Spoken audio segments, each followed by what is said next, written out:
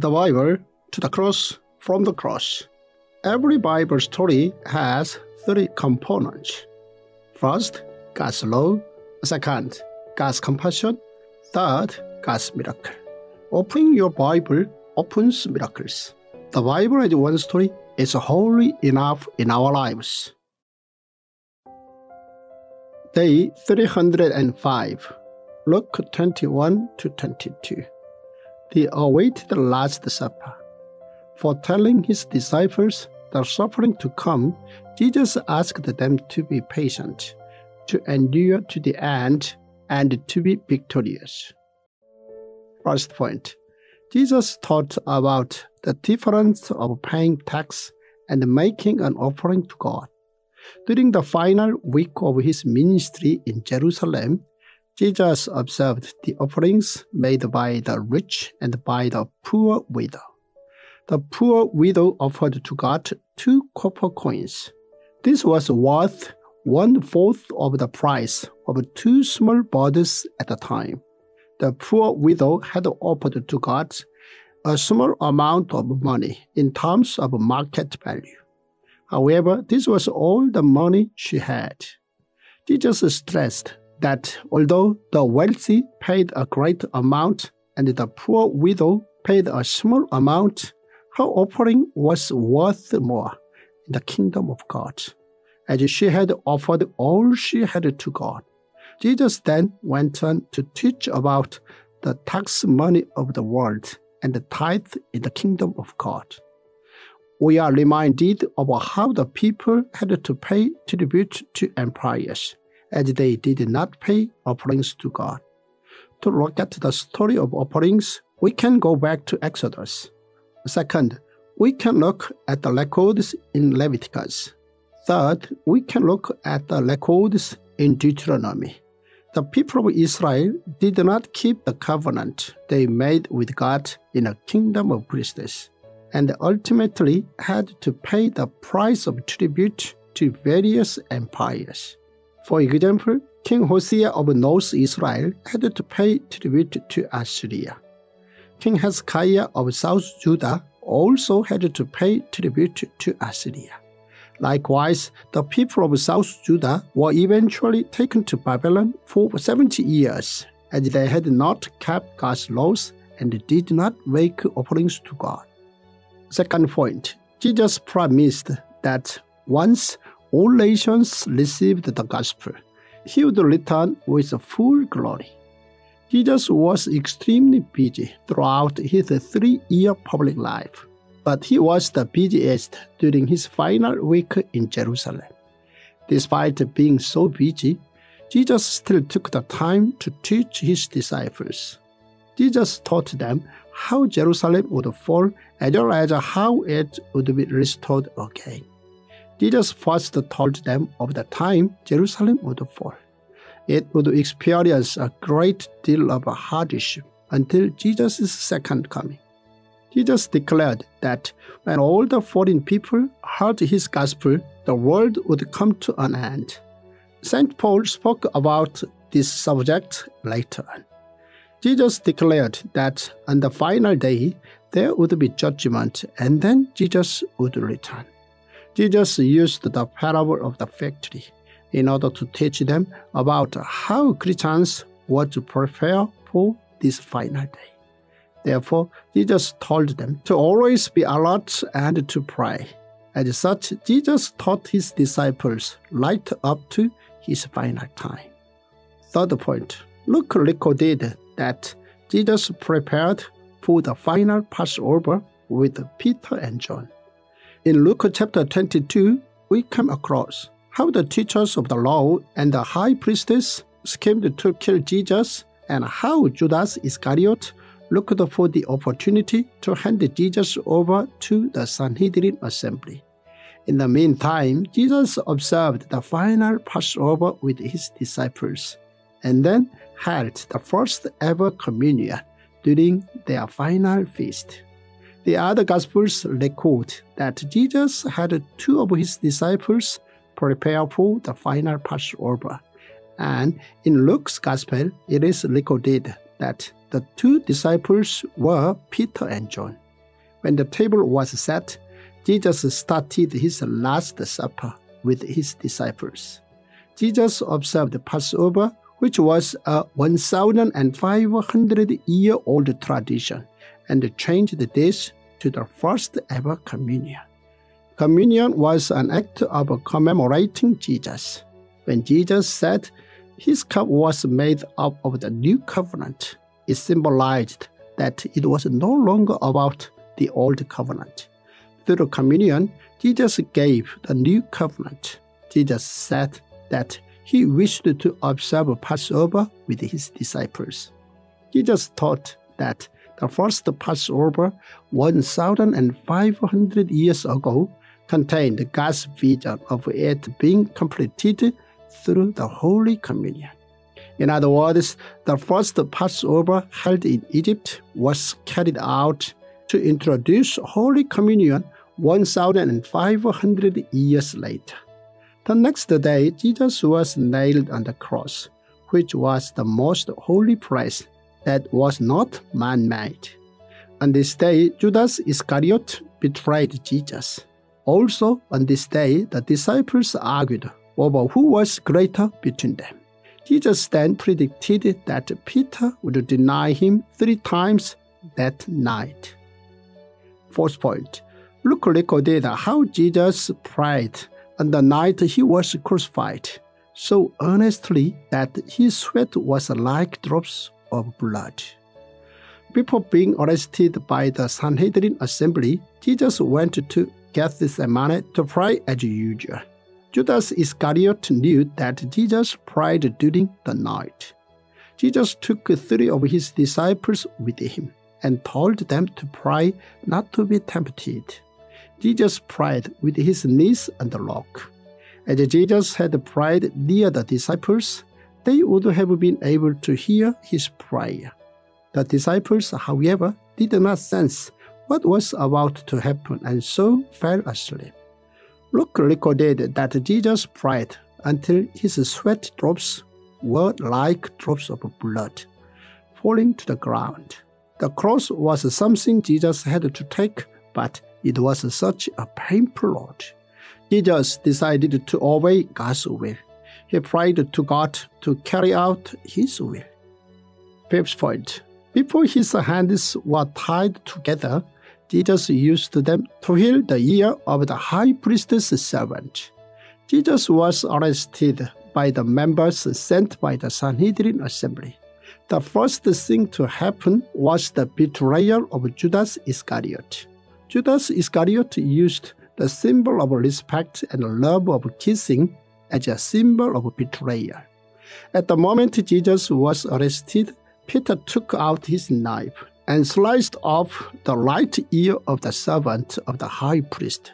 When the servant screamed, the man holding Jesus let go and Peter tried to use this moment to take Jesus away. However, Jesus told Peter to put away his sword and then used his free hands to heal the servant's ear. Then he was taken to the Sanhedrin assembly, where he was questioned all night. During this time, Peter denied Jesus three times. Jesus did not speak until they finally asked whether he was the Son of God, to which Jesus answered yes. This gave them the perfect cause to accuse him of blasphemy. Day 306, Luke 23 to 24. Invitation to glory and peace.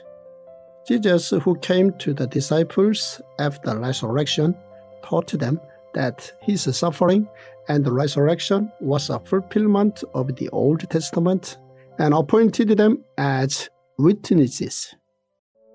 First point Luke thoroughly recorded Jesus' trials by the Sanhedrin assembly, by Pontius Pilate, by Herod, and then by Pontius Pilate again. After being arrested by the Sanhedrin assembly, Jesus was taken to the court of the high priest's house, where he was interrogated.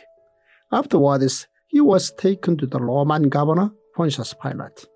The Sanhedrin assembly had an idea about how to go ahead and sentence Jesus to death, and this was to accuse him of blasphemy. However, they were cautious on the one hand, as they were aware that there were many Jews who were still upset over the death of John the Baptist. Therefore, they did not want to stone Jesus to death, as this would have made enemies out of the Jews. They wanted to bring back all the people who became followers of Jesus, and so used the Roman Empire to kill Jesus. They accused Jesus of blasphemy and quoted Jesus of being the king of the Jews. The reason the Sanhedrin assembly passed Jesus over to Pontius Pilate was in order to mask the whole thing as a political riot, and thus began the trial under the Roman Empire. Pilate knew exactly what the Sanhedrin assembly was after, but nevertheless the trial went on. Pilate was taken aback by Jesus' answer, as Jesus admitted that he was the king of the Jews. Despite this being a crime, Pilate still proclaimed Jesus innocent. When the Sanhedrin assembly disapproved, Pilate handed this case to Herod. Herod's trial is only recorded in Luke's Gospel. When Jesus did not do anything, Herod ridiculed Jesus and made him wear the robe of a king. Because of the Sanhedrin assembly, Jesus' second trial and the Pilate began again. Pilate did not want to make this trial any bigger. Pilate declared Jesus as innocent, but in order to satisfy the Sanhedrin assembly, he told them that Jesus would be punished by being whipped.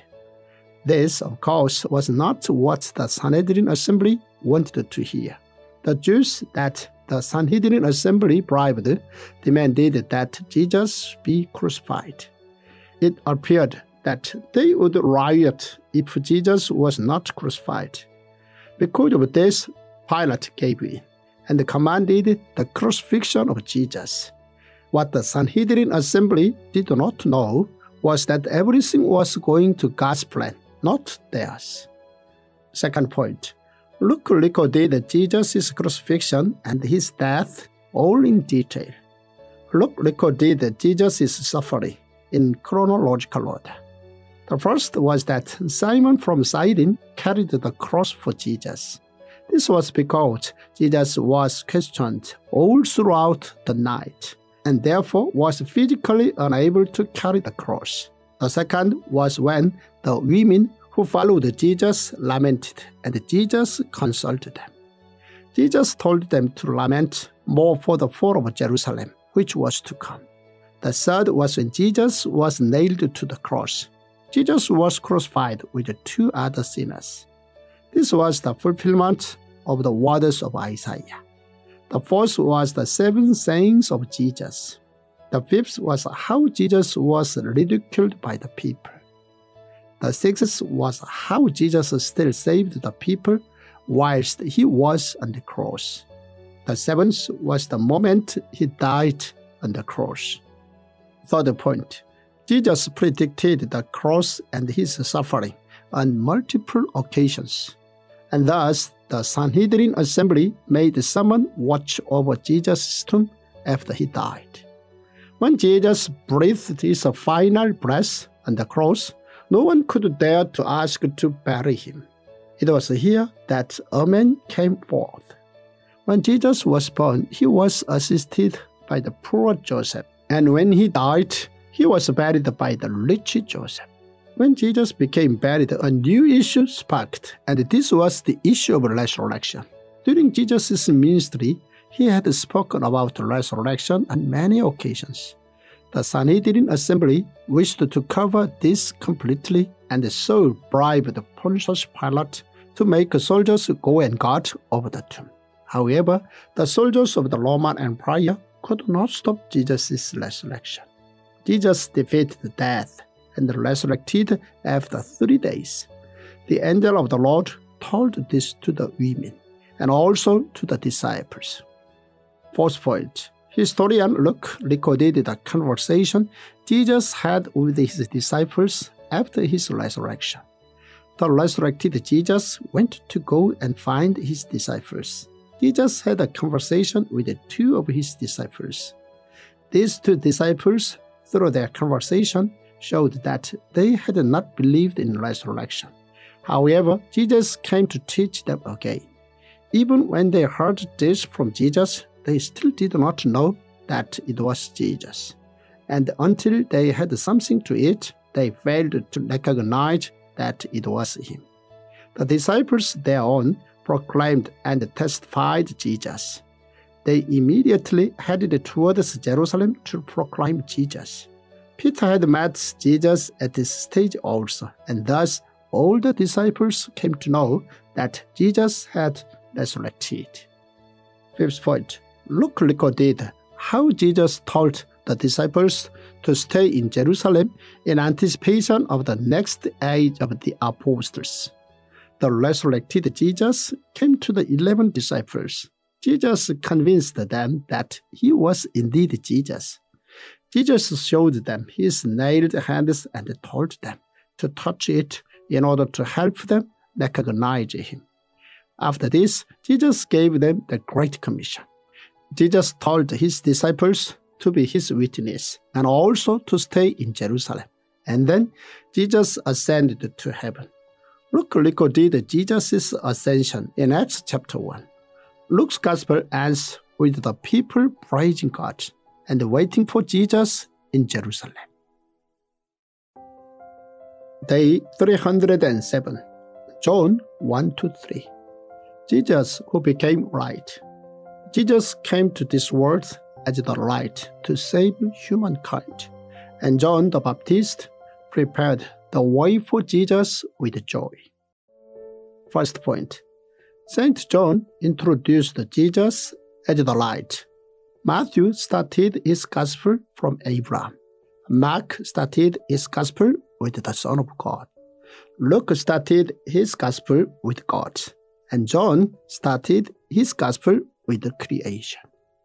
John testified that Jesus existed from the beginning of time. Thus, John traced his way to Genesis 1, verse 1. John, moreover, expressed Jesus as right and life, and proclaimed that Jesus came to the world as the light of life. John introduced John the Baptist first. John the Baptist came to this world to prepare for Jesus. Thus, John the Baptist's role was to testify Jesus and to help others believe in Jesus Christ. However, the world did not believe in the light of the world, Jesus. Isaiah had pre-warned about how the people would not believe. Anyone who believes in Jesus can become God's children. John started his gospel and wrote his book in order to introduce and record Jesus Christ. Second point St. John introduced Jesus Christ as the Lamb of God.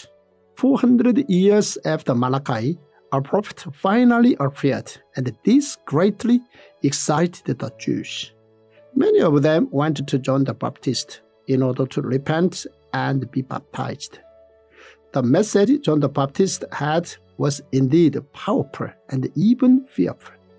There were many people who believed that John the Baptist was their Messiah. However, John the Baptist clearly stated that he was not the Messiah, and that his role was to proclaim the coming of the Messiah. After this, Jesus appeared before John the Baptist. The moment John the Baptist saw Jesus, he said that Jesus came as the Lamb of God to take the sins away from the world. When the Jews heard this, they were extremely surprised, and this was because all of them knew the tradition of the Passover and the meaning of the lamb. When John the Baptist said that Jesus was God's lamb, everyone knew what this meant.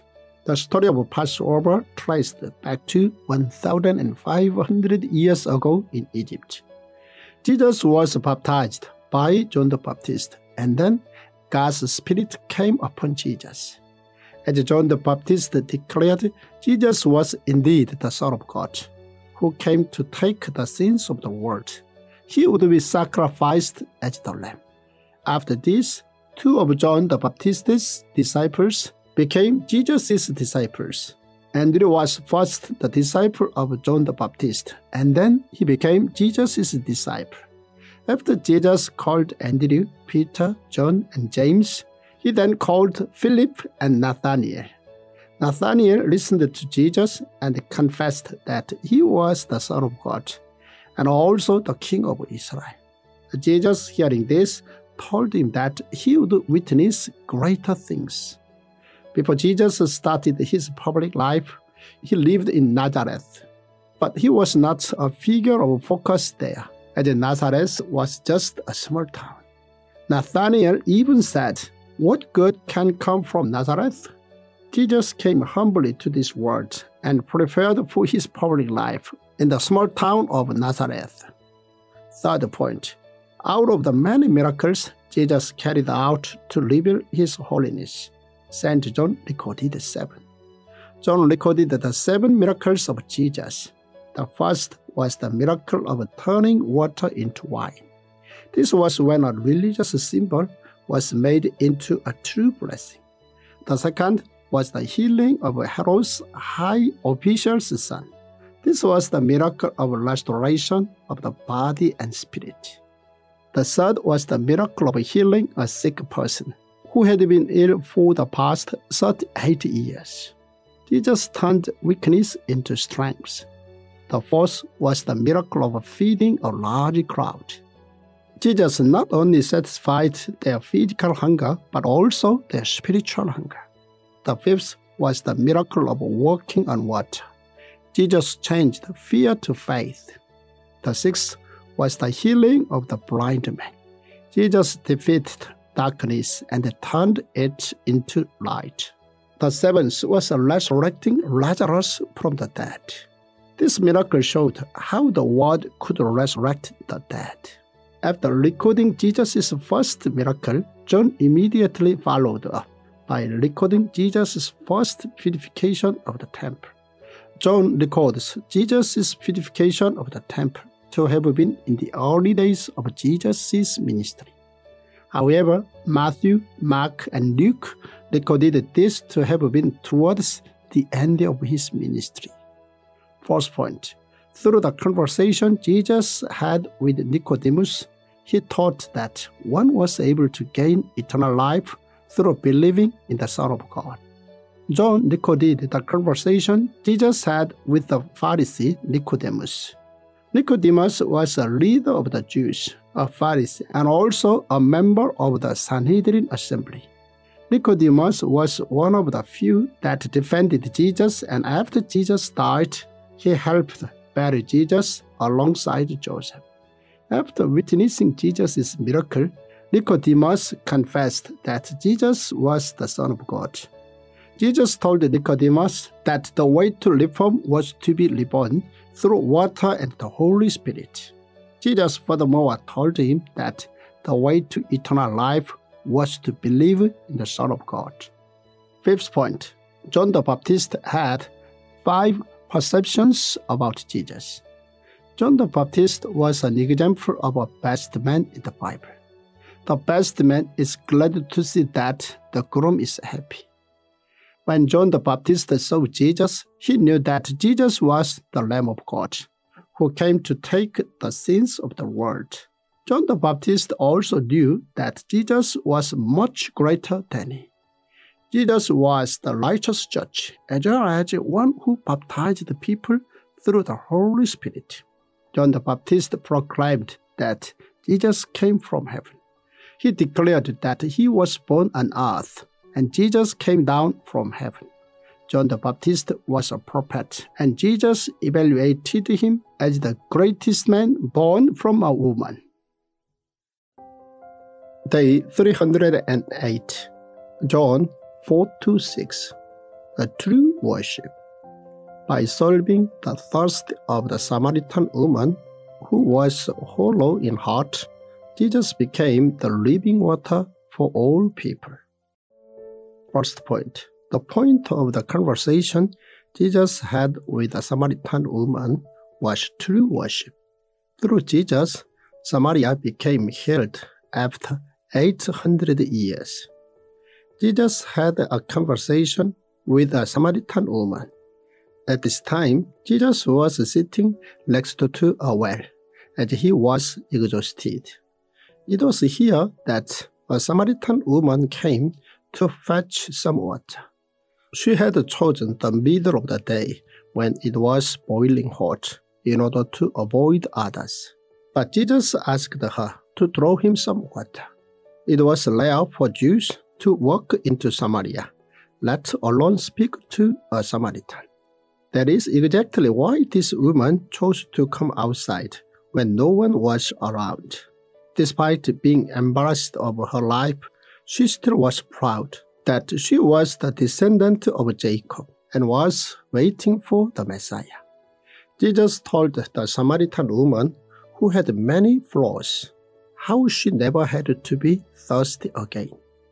Jesus told her that the water he offered her could not be given by anyone else, but she could not fathom what he meant. Jesus then told her to bring her husband. Jesus knew her circumstances, and at this she called Jesus a prophet. They continued to speak about worship.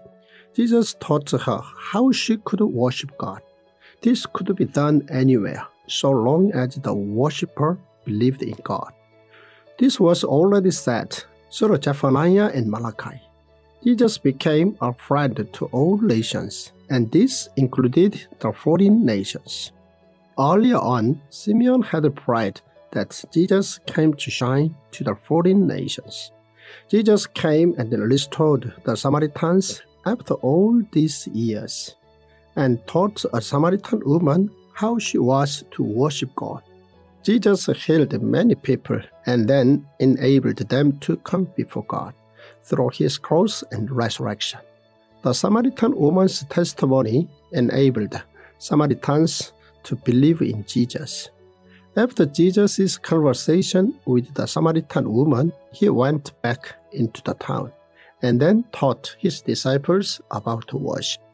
After this, Jesus started his ministry in Galilee.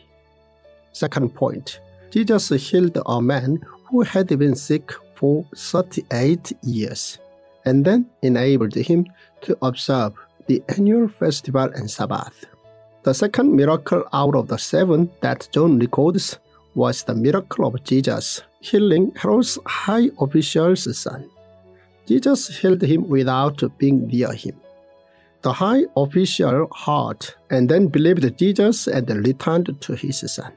This was like the centurion who requested Jesus to heal his servant with words only. With this, the whole family of the high official came to believe in Jesus. John then recorded the third miracle, and this was how Jesus healed a man who had been sick 38 years. This was done on Jesus' way to Jerusalem during the annual festival. This was the greatest festival and Sabbath for the man who had been ill for 38 years. However, the Jews were not happy for this man, and this was because Jesus had healed during Sabbath. As such, the Jews had a very wrong idea and understanding about Sabbath. Jesus later met this man in the temple and had a conversation with him. Jesus told him to lead a new life as he had been forgiven. The Sanhedrin assembly used this against Jesus and planned to kill him. Despite how Jesus knew what they were thinking, Jesus declared that he was the Lord of Sabbath. This gave the Sanhedrin assembly a good reason to accuse Jesus of blasphemy. Third point Jesus declared that the Old Testament was written to testify him. Despite knowing that the Sanhedrin assembly was finding any reason to kill him, Jesus went ahead and revealed who he was. He declared that he was the Son of God and taught them about his authority.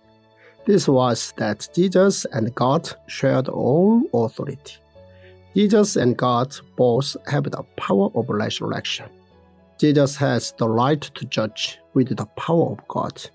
Jesus' judgment, therefore, is the will of God, and thus, anyone who believes in Jesus is able to gain eternal life. Jesus declared that he was the Son of God, and this was declared all throughout history. Jesus himself declared that he was the Son of God. Jesus rebuked the Sanhedrin assembly for knowing the scriptures and knowing that they point to Jesus and yet refusing to believe in him. Fourth point St. John wrote down seven ways Jesus expressed himself. From the seven miracles of Jesus, the fourth was when Jesus fed thousands of hungry people. This miracle is recorded in all four Gospels, but John's Gospel is the only one to record the story of Philip and Andrew. When Jesus told his disciples to feed the people, Andrew asked how they were physically able to do this. Philip then told Jesus that this was not feasible. Although Philip provided mathematical calculations, both he and Andrew showed little faith in Jesus. After this, John recorded Jesus' fifth miracle of walking on water. Through this, Jesus changed the fear of the disciples into faith. Following this, Jesus taught them that he was the bread of life. John recorded how Jesus introduced himself bread of life, light of the world, gate for the sheep, good shepherd, resurrection and life, way, truth, and life, and vine. When the Jews who had known Jesus for a while heard this, they said, Is this not Jesus, the son of Joseph, whose father and mother we know? How can he now say, I came down from heaven? And so Jesus said, I am the living bread that came down from heaven. Whoever eats this bread will live forever. This bread is my flesh, which I will give for the life of the world. Fifth point The people who were taught by Jesus showed two different reactions. After hearing Jesus' teaching, the people showed varied responses. First, there were some who left Jesus. They had no interest in Jesus' spiritual teaching and did not believe that Jesus was the Messiah. Second, there were those who believed in Jesus and followed him. Jesus here said that one of his disciples was the Satan. Day 309, John 7 to 8, Jesus and the Festival of Tent. Jesus' wise answer to those who rebuked him for embracing sinners was enough to embarrass the questioners. First point Jesus' brothers told Jesus to show them a sign that he was the Messiah when Jesus went to Jerusalem. St. John recorded Jesus during the Feast of Tabernacles in a kingdom of priests. The three annual festivals were established so that the people could come closer to God. Moreover, these festivals came to symbolize political gatherings. God, through Moses, commanded the people not to come empty handed, and this was for them to show gratefulness towards God for what they received. The festivals were designed to bring forth efforts and materials to God. This also involved living in temporary shelters for seven days in order to remember the days they had lived in tents in the desert. When the people of South Judah returned after 70 years in Babylon after captivity, they observed this festival. Prophet Zechariah also predicted how Christ would restore the festival. Later on, Ezra and Nehemiah also observed the festival with the people. Once the reconstruction of the Jerusalem walls was completed, all the people gathered for seven days to learn about the laws. The returned captives came to observe the festival after learning about the law. Second point, Jesus changed the 1,500 year tradition of a kingdom of priests to the river of life. Jesus, who came to fulfill the laws and the prophets, renewed all the annual festivals of a kingdom of priests through his cross. Jesus first kept the festival and then became the Lord over them. Jesus also changed the 1,500 year tradition of Passover to Holy Communion during the Last Supper. Furthermore, after he ascended into heaven, Jesus poured the Holy Spirit to the people who gathered in Mark's attic, and this changed the temple into the church. As such, Jesus changed the old customs into new ones based on the church. Jesus taught that he was the living water. Jesus resurrected and saved the sinners, and he lives in us today. Third point St. John recorded that there were many debates about Jesus during the time. During Jesus' time, there were debates surrounding whether Jesus was the Messiah or not. There were some who believed that Jesus was the Messiah after seeing his miracles. And there were oppositely those who stated that the Messiah could not be from Galilee. The main group who declared that Jesus was not the Messiah was the high priests. Through the temple Herod constructed for them, they were enjoying a lavish lifestyle as prestigious religious leaders, and so they felt threatened by Jesus' presence. In fact, they did not want any Messiah to come. They were far more interested in sustaining their prestige. Despite this, there was nothing they could do to Jesus immediately. There were a few among the Sanhedrin assembly, such as Joseph of Arimathea, who buried Jesus, who was one of a few good men. On one occasion, the high priests and the Pharisees commanded to arrest Jesus. However, when the men who was sent to arrest Jesus went to find him, they heard Jesus teach and became completely overtaken by his words, and so could not arrest him. This shows that even between the Pharisees there was divided opinion about Jesus. It is such a shame that the high priests and Pharisees who rejected Jesus were unable to see the truth. First point Jesus wrote on the ground in order to calm the people who were waiting to stone the adulterous woman. One day, the teachers of the law and the Pharisees came to attack Jesus again, and this time they brought a woman who committed adultery. The law that the Pharisees pointed out was if a man commits adultery with another man's wife, with the wife of his neighbor, both the adulterer and the adulteress are to be put to death. The teachers of the law and the Pharisees wanted to find an excuse to arrest Jesus, and so they made him face a difficult situation. At this, Jesus suddenly started to write something on the ground with his hands, and this was in order to calm down the people who had stones in their hands.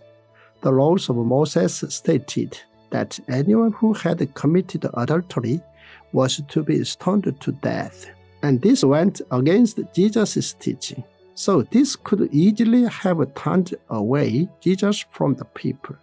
However, Jesus managed to solve this. After writing something on the ground, Jesus addressed the crowd. Jesus asked whether anyone there was without sin. At this, they slowly dropped their stones and left. After this, Jesus forgave the woman. Fifth point St. John thoroughly recorded the debate Jesus had with the Jews about freedom. Despite failing every time, they tried to find a fault in Jesus. The Sanhedrin assembly continuously worked hard to find any excuse to arrest him and this time they opened a debate about Jesus as the light and freedom. To this, Jesus told them that he did not belong in the world. In other words, Jesus taught that if they did not believe in Jesus, whom God sent, they could not enter the kingdom of heaven. They continued to debate about freedom, and to them, Jesus said that they were the sons of Satan. They replied that they were the chosen people by God. Although the members of the Sanhedrin assembly spoke to Jesus face to face, they still had no faith. They were so certain about their logic and their understanding that they ultimately accused Jesus of blasphemy. Day 310 John 9 to 11 Jesus and Hanukkah Jesus, who loved all people, was like the shepherd who was determined to die for them and carried out his ministry faithfully. First point faith and obedience can bring a miracle. The sixth miracle recorded in John's Gospel was about Jesus healing a blind man from birth so that he could see. The story of this miracle began with the questioning of the disciples. This question was very revealing of the common thought of the Jews at the time. Many of them believed that this ability was the result of sin. To the disciples, Jesus explained that this was not so. Jesus told them that a blind man from birth would see God's glory. Jesus said the same thing when he resurrected Lazarus from death. Here, Jesus proclaimed that he was the light of the world. This was already declared by the prophet Isaiah. As the light of the world, Jesus healed the blind man. The blind man who could not see from birth believed in Jesus and thus was able to see. His faith had restored him. As such, one person's faith can bring amazing miracles. Second point, the Pharisees who only believed in a segment of God's laws could not fully understand Jesus. When Jesus healed the man who was blind from birth, the Pharisees started to rebuke Jesus for the reason that he healed him during Sabbath. They accused him of breaking the rules about Sabbath. What made this situation serious was that the Sanhedrin assembly attacked based on the law. The parents of the blind man claimed that they did not do anything, as they feared the Sanhedrin assembly, but the man who was healed confidently proclaimed that Jesus was a prophet sent by God. Despite how the Sanhedrin assembly threatened to throw the man out, from their Jewish community, he still declared that Jesus was God's prophet. Jesus said to the man, For judgment I have come into this world, so that the blind will see, and those who see will become blind. Next, Jesus rebuked the Pharisee who thought himself righteous. Third point Jesus, who came as the Good Shepherd, claimed that he would sacrifice his life for his sheep. Jesus, who was the Good Shepherd, claimed that he was the gate for the sheep. Jesus furthermore claimed that he would give his life for the sheep. Oppositely, Jesus also spoke of the wicked shepherd. Jesus was targeting the high priests and the Pharisees, who were the most prestigious religious leaders during the time. Jesus declared that they were not good shepherds, but rather a shepherd who abandoned their sheep. This saying had its foundation in the book of Ezekiel and Jeremiah. Jesus compared the good shepherd to the bad, and then outlined the characteristics of the sheep. Jesus then said that he would continue to save the remaining sheep Jesus declared that he would not only bless the Jews, but all nations. And this once again spurred the members of the Sanhedrin assembly. The reason God selected Abraham was in order to bless all nations through him. However, Abraham's descendants got the wrong idea and accused Jesus to have been demon possessed. They had no interest in all nations whatsoever. They believed that as Abraham's descendants, they were special and set above other nations. Thus, they were rebuked by Jesus. Fourth point Jesus taught at Solomon's colonnade in the Jerusalem temple. The Feast of Dedication was a festival made during the Maccabean revolt of the Hellenistic Empire with the purpose of purifying the temple. During this festival, the people gave each other gifts and also celebrated together. It was during this festival that Jesus came to the Temple of Jerusalem and taught at Solomon's colonnade in the Jerusalem temple. The Sanhedrin assembly requested Jesus to reveal whether he was Christ. Although Jesus had told them multiple times, they still did not believe and requested to see signs. When Jesus told them again who he was, they accused Jesus of blasphemy. Jesus then spoke again, referencing the Old Testament. After debating with the members of the Sanhedrin assembly, during the feast of dedication, he left Jerusalem and then went to the place where John the Baptist had baptized him and taught people there. Fifth point Jesus revealed his powers through the resurrection of Lazarus. Now we come to the seventh miracle recorded in John's Gospel, and this was the miracle of Lazarus' resurrection. When Jesus heard the news of Lazarus, he waited for God's time and then went to Lazarus' time. This was in order for Lazarus' resurrection to reveal God's glory. However, his disciples tried to stop him in fear for Jesus' life.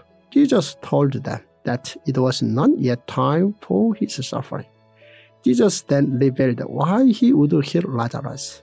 Hearing this, the disciples plucked up their courage and followed Jesus. Jesus and his disciples arrived, and as Jesus had said, Lazarus was already dead. Lazarus' sisters were unable to conceal their grief, but in this moment, Jesus said something remarkable. Jesus revealed that Lazarus' life would be newly given by Jesus as he governed human life. Next thing they found was the resurrected Lazarus. Jesus healed countless sick people and also raised the Lazarus from the dead. When the people heard this, they were in disbelief and they all gathered around Jesus. Some people saw this and started to believe that Jesus was the Son of God. However, some people reported this to the Sanhedrin assembly. Because of this, the Sanhedrin assembly had an emergency meeting. Hearing this, the head of the assembly proclaimed to sentence Jesus to death and justified it by saying that it was for their nation. The Sanhedrin assembly presumed that Jesus would come to Jerusalem during Passover and so planned to carry out their sentence then. Day 311 John 12 to 13 Jesus and the new command.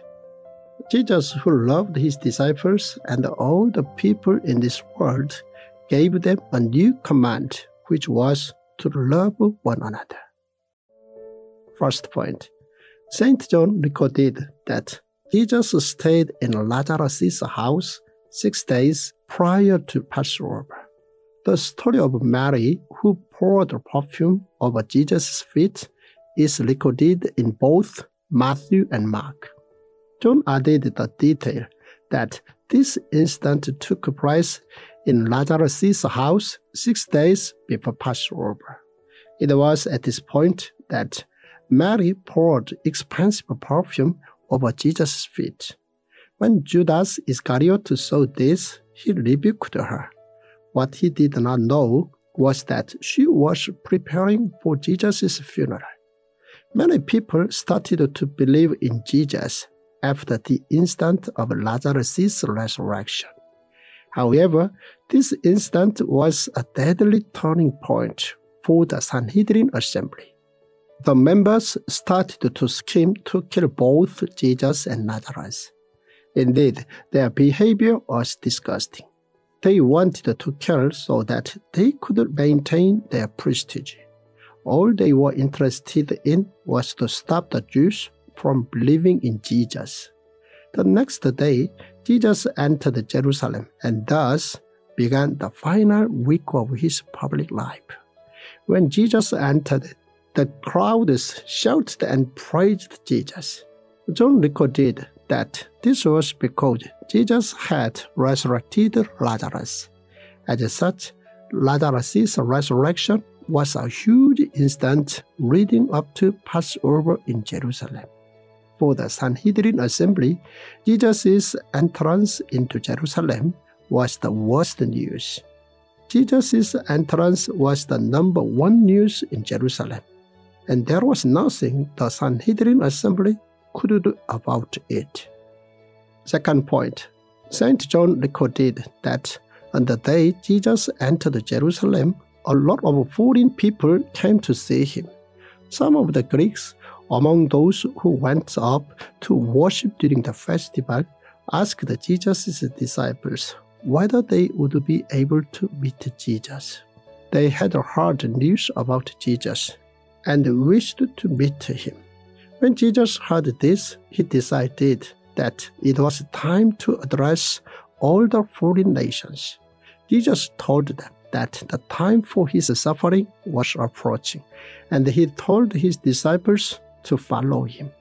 Jesus then went to pray to God, and a voice from heaven came down to fulfill Jesus' prayer.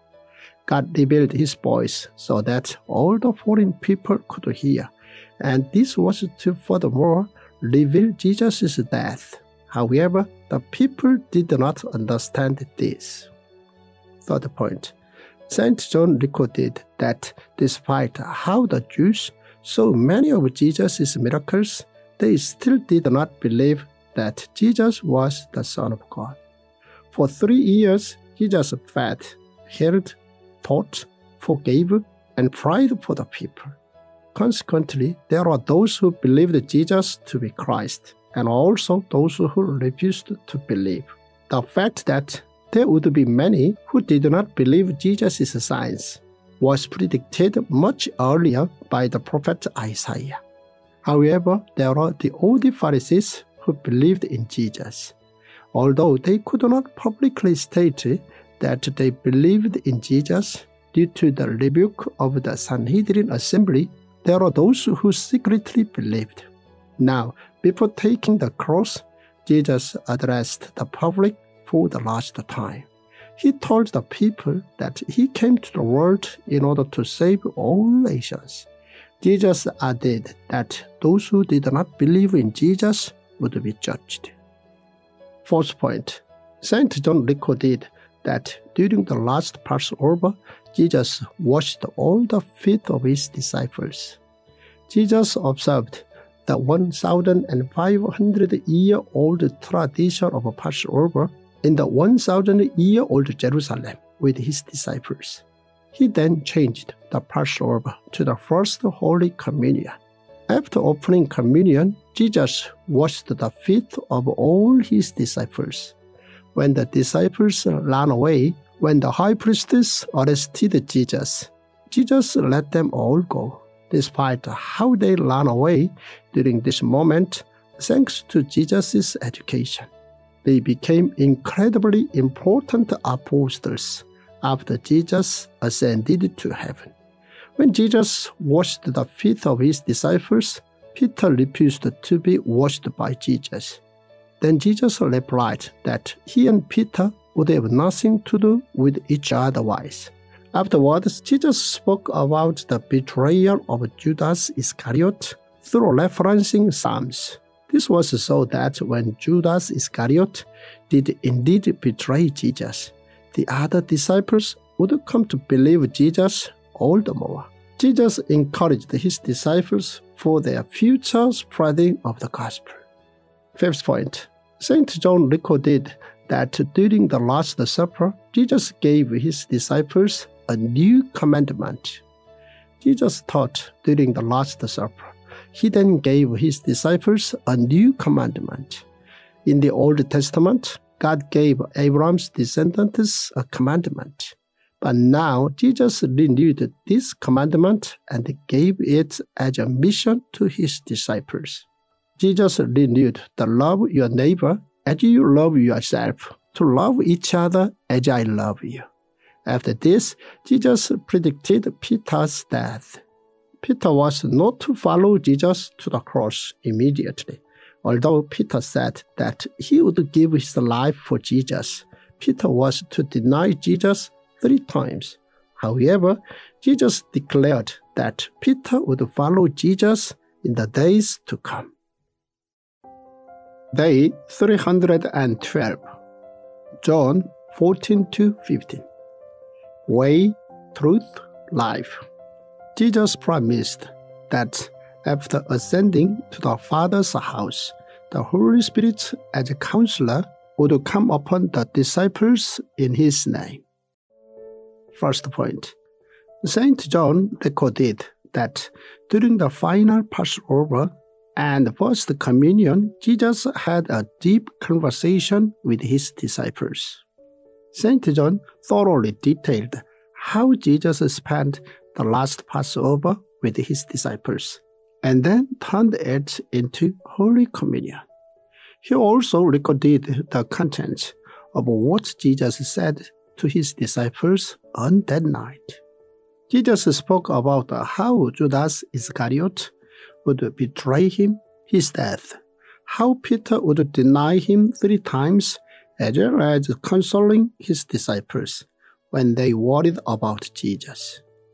To Thomas, Jesus told him that he was the way, the truth, and the life, and that no one comes to the Father except through him. As such, Jesus explained that the only way was through him.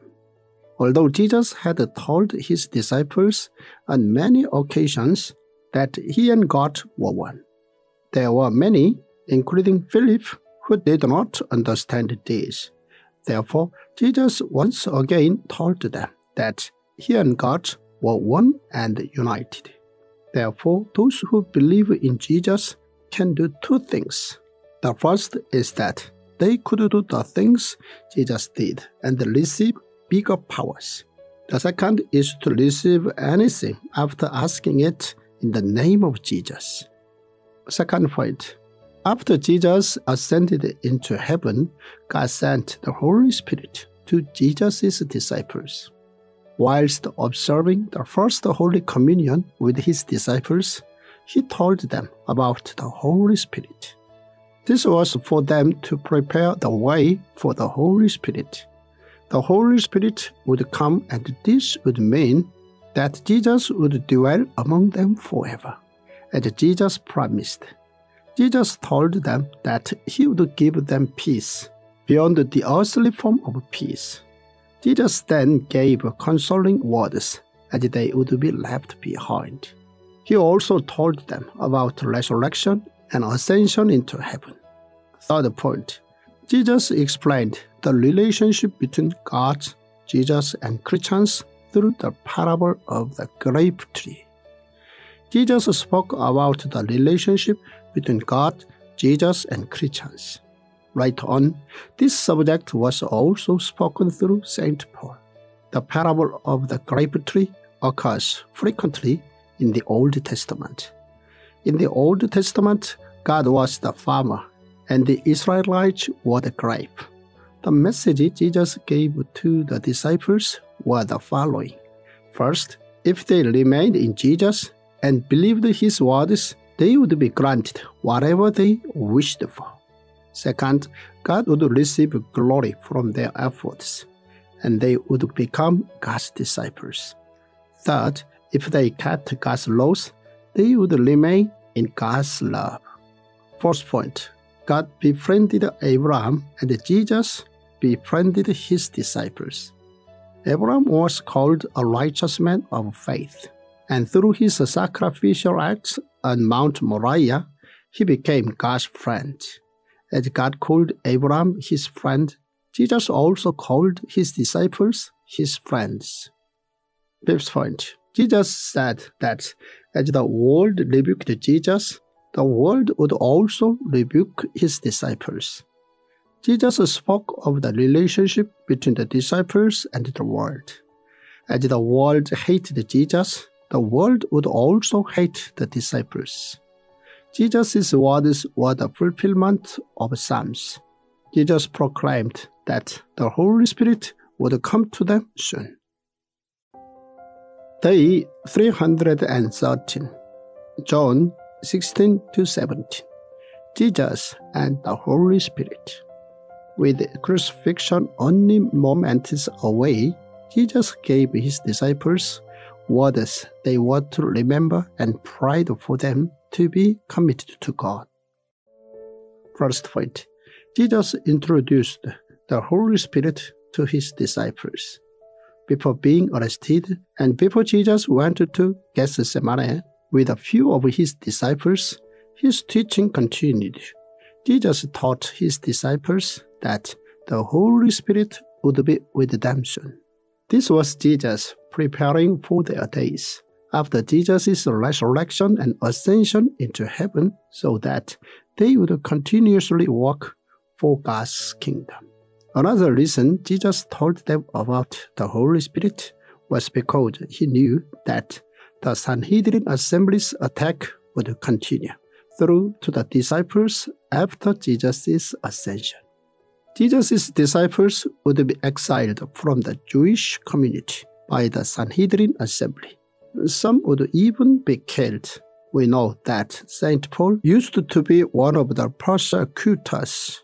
When the disciples feared, Jesus promised them that the Holy Spirit would be with them.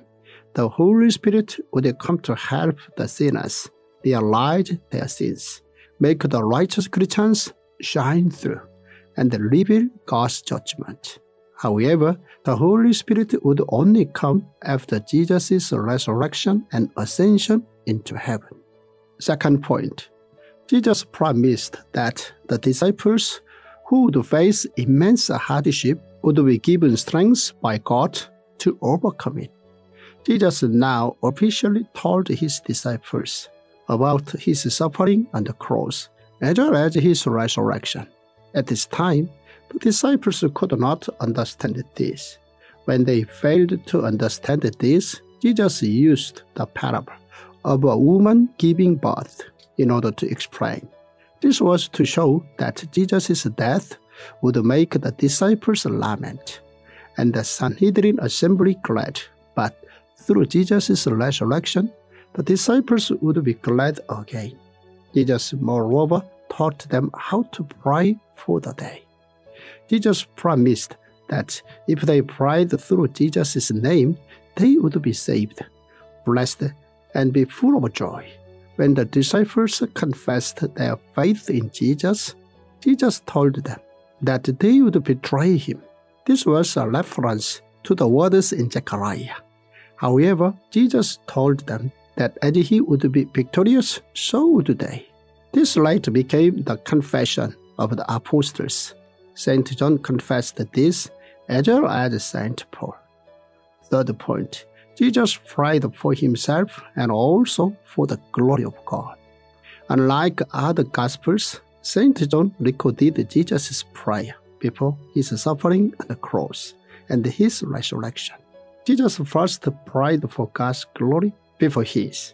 This prayer was after Jesus declared that in this world you will have trouble, but take to heart, I have overcome the world.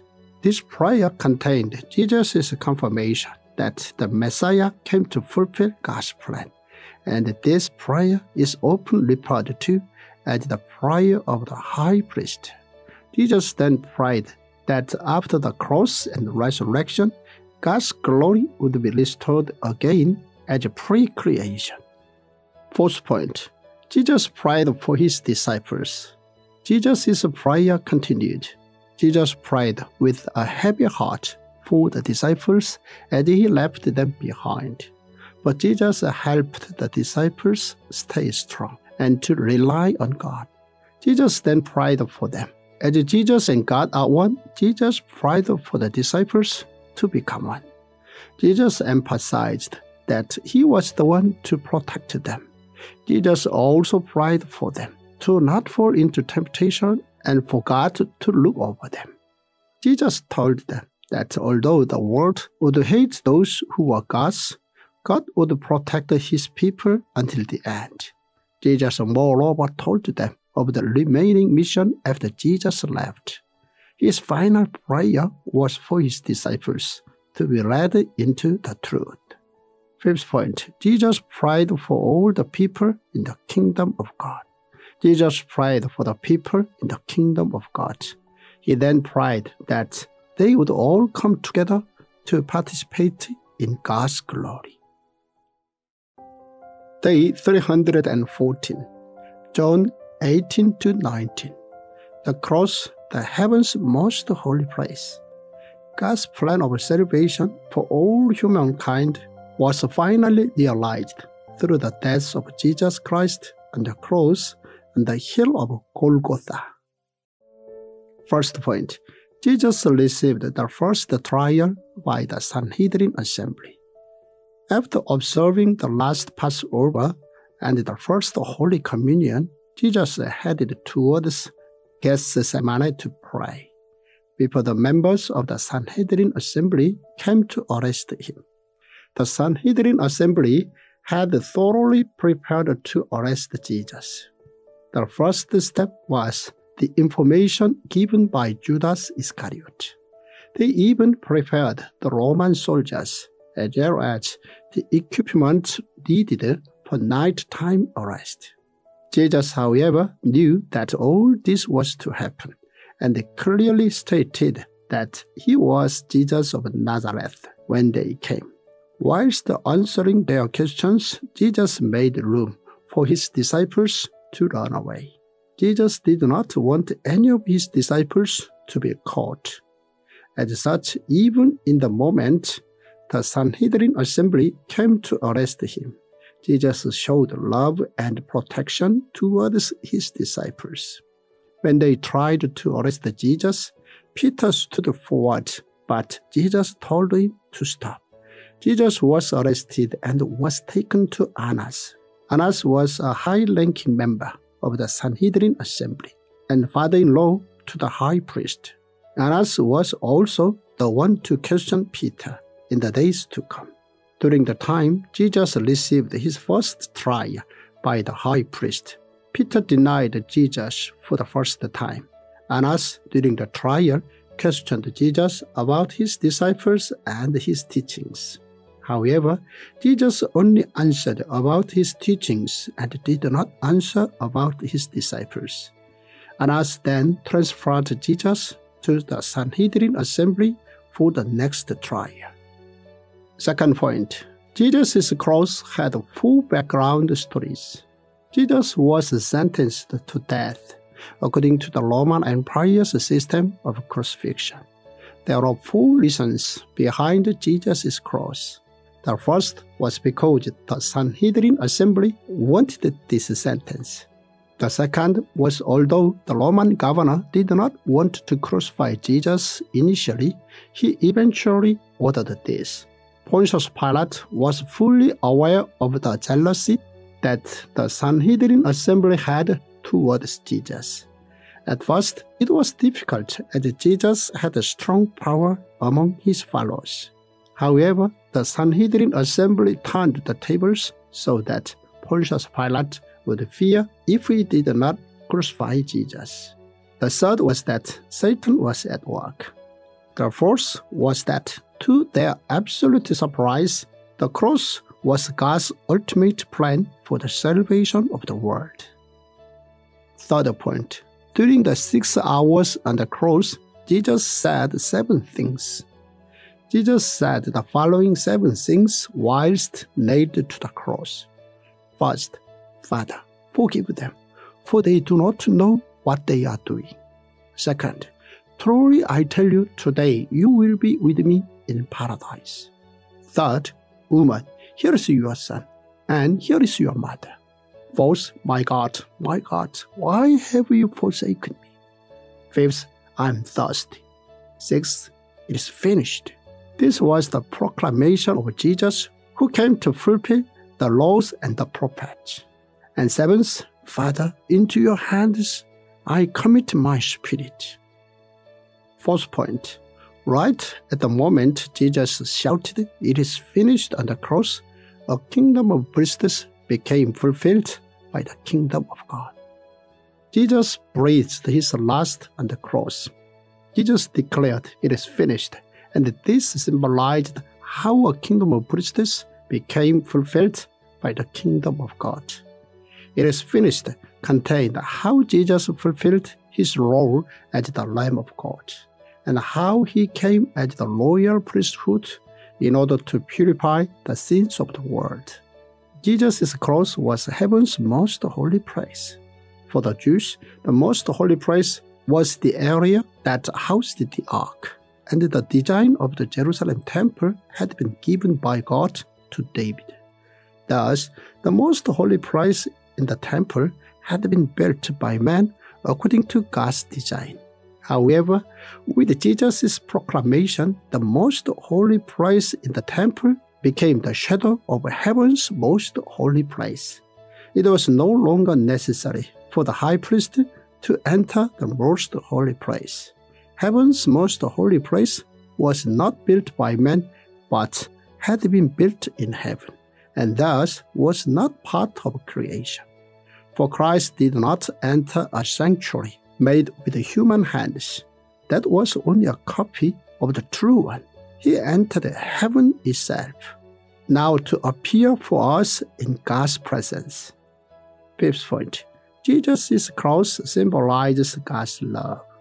Jesus' cross was the fulfillment of God's revelation, a revelation that existed before creation. Revelation means that God revealed Himself and His will. God created the world not only through causality, but beyond it. Jesus' cross was God's special revelation and also the purpose for Jesus coming to this world. Thus, Jesus' cross was God's revelation, which had been planned prior to Genesis. When Jesus breathed his last, now what remained was his funeral. Here, Joseph, who was a member of the Sanhedrin assembly, but a secret follower of Jesus, stood forward and was given Jesus' body to be buried. Day 315, John 22 21. Resurrection, the greatest victory.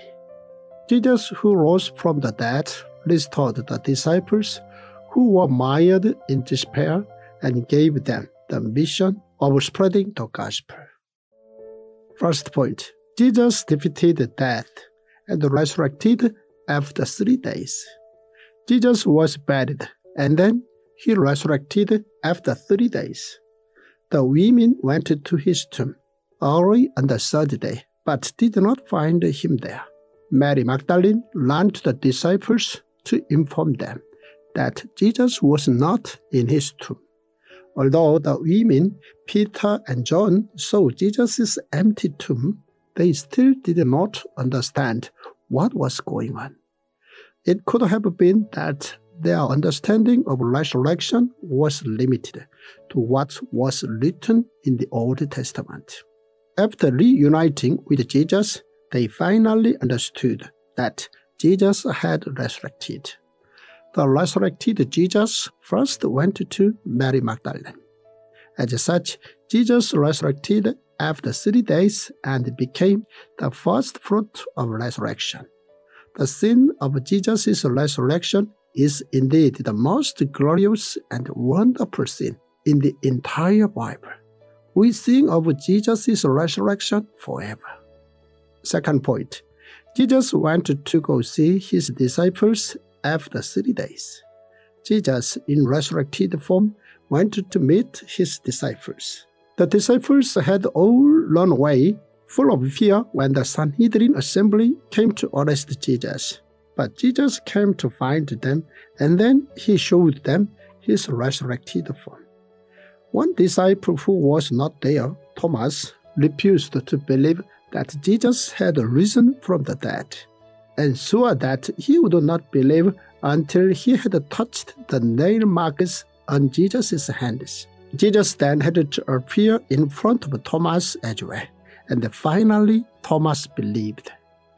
Third point Saint John was able to meet the resurrected Jesus again after a long time on the island of Patmos. The reason St. John recorded John's Gospel was in order to record Jesus' seven miracles, as well as Jesus' suffering on the cross and resurrection. St. John himself believed that Jesus was the Son of God and Christ, who came to give eternal life to all nations. In his old age, John was sent to the island of Patmos where he recorded about the new heavens and the new earth. In Revelation, John confirmed Jesus' second coming. He who testifies to these things says, Yes, I am coming soon. Amen. Come, Lord Jesus. Fourth point St. John recorded that the resurrected Jesus came to eat with them again, like the Last Supper he had with them during the final Passover. The resurrected Jesus firstly came to see his ten disciples, and then eight days later, he went to see Thomas. Jesus had met all his remaining disciples.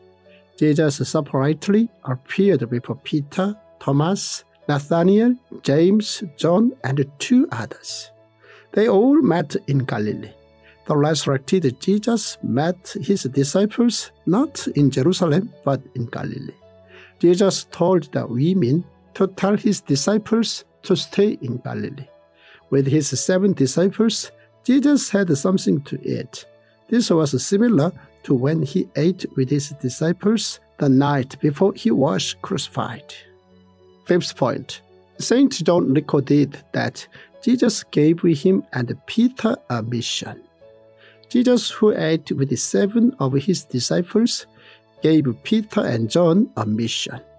He first spoke to Peter. He told Peter that he would glorify God through his death. Peter then asked Jesus about John, to which Jesus answered why Peter should care if Jesus decided to keep John alive until the last judgment, although figuratively. The last gospel John's Gospel ends on this note.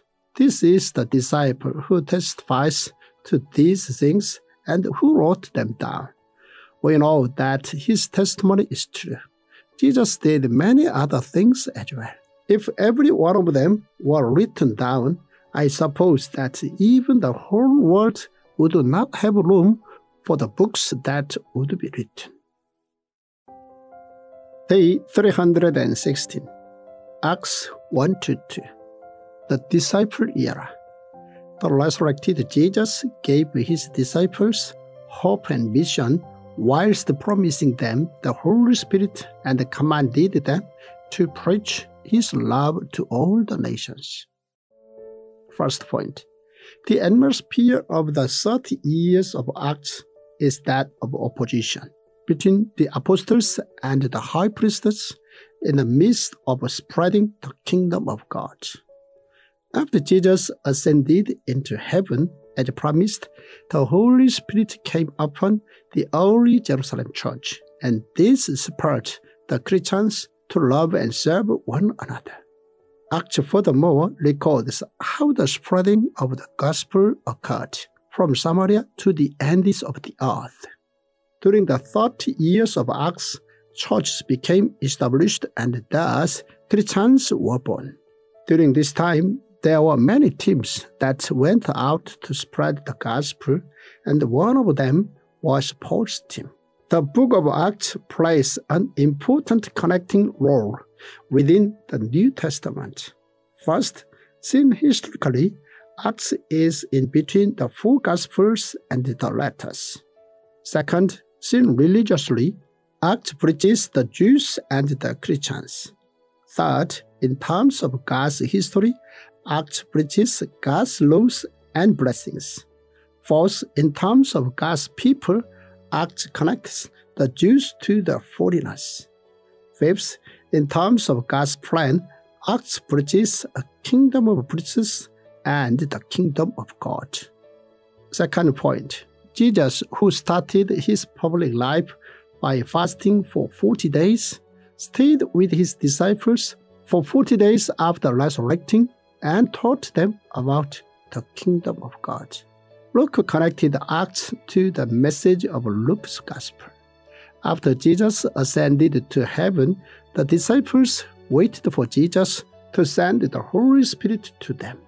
The reason they were able to do so was through Jesus' teaching for the past three years about the Holy Spirit. Thus, as they promised Jesus, they waited for the Holy Spirit to dwell among them. Jesus taught his disciples to wait for the Holy Spirit and also taught them about his second coming. Jesus emphasized that no one knew the time for Jesus' second coming other than God. The disciples who now wholeheartedly believed in Jesus became his witnesses.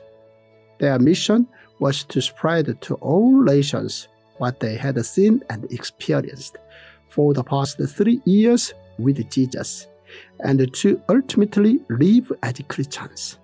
The disciples were to become apostles and to first take on Jesus' yoke and learn.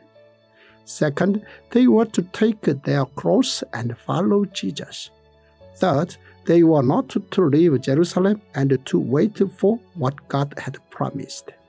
Fourth, they were to become Jesus' witnesses. And finally, they were to make disciples of all nations and to teach them the gospel.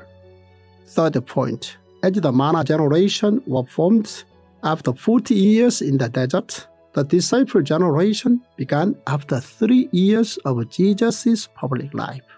The manna generation were born from the hard works of Moses. Jesus also formed the disciple generation after three years. After Jesus ascended into heaven, the disciples waited for a few days in Jerusalem and prayed together.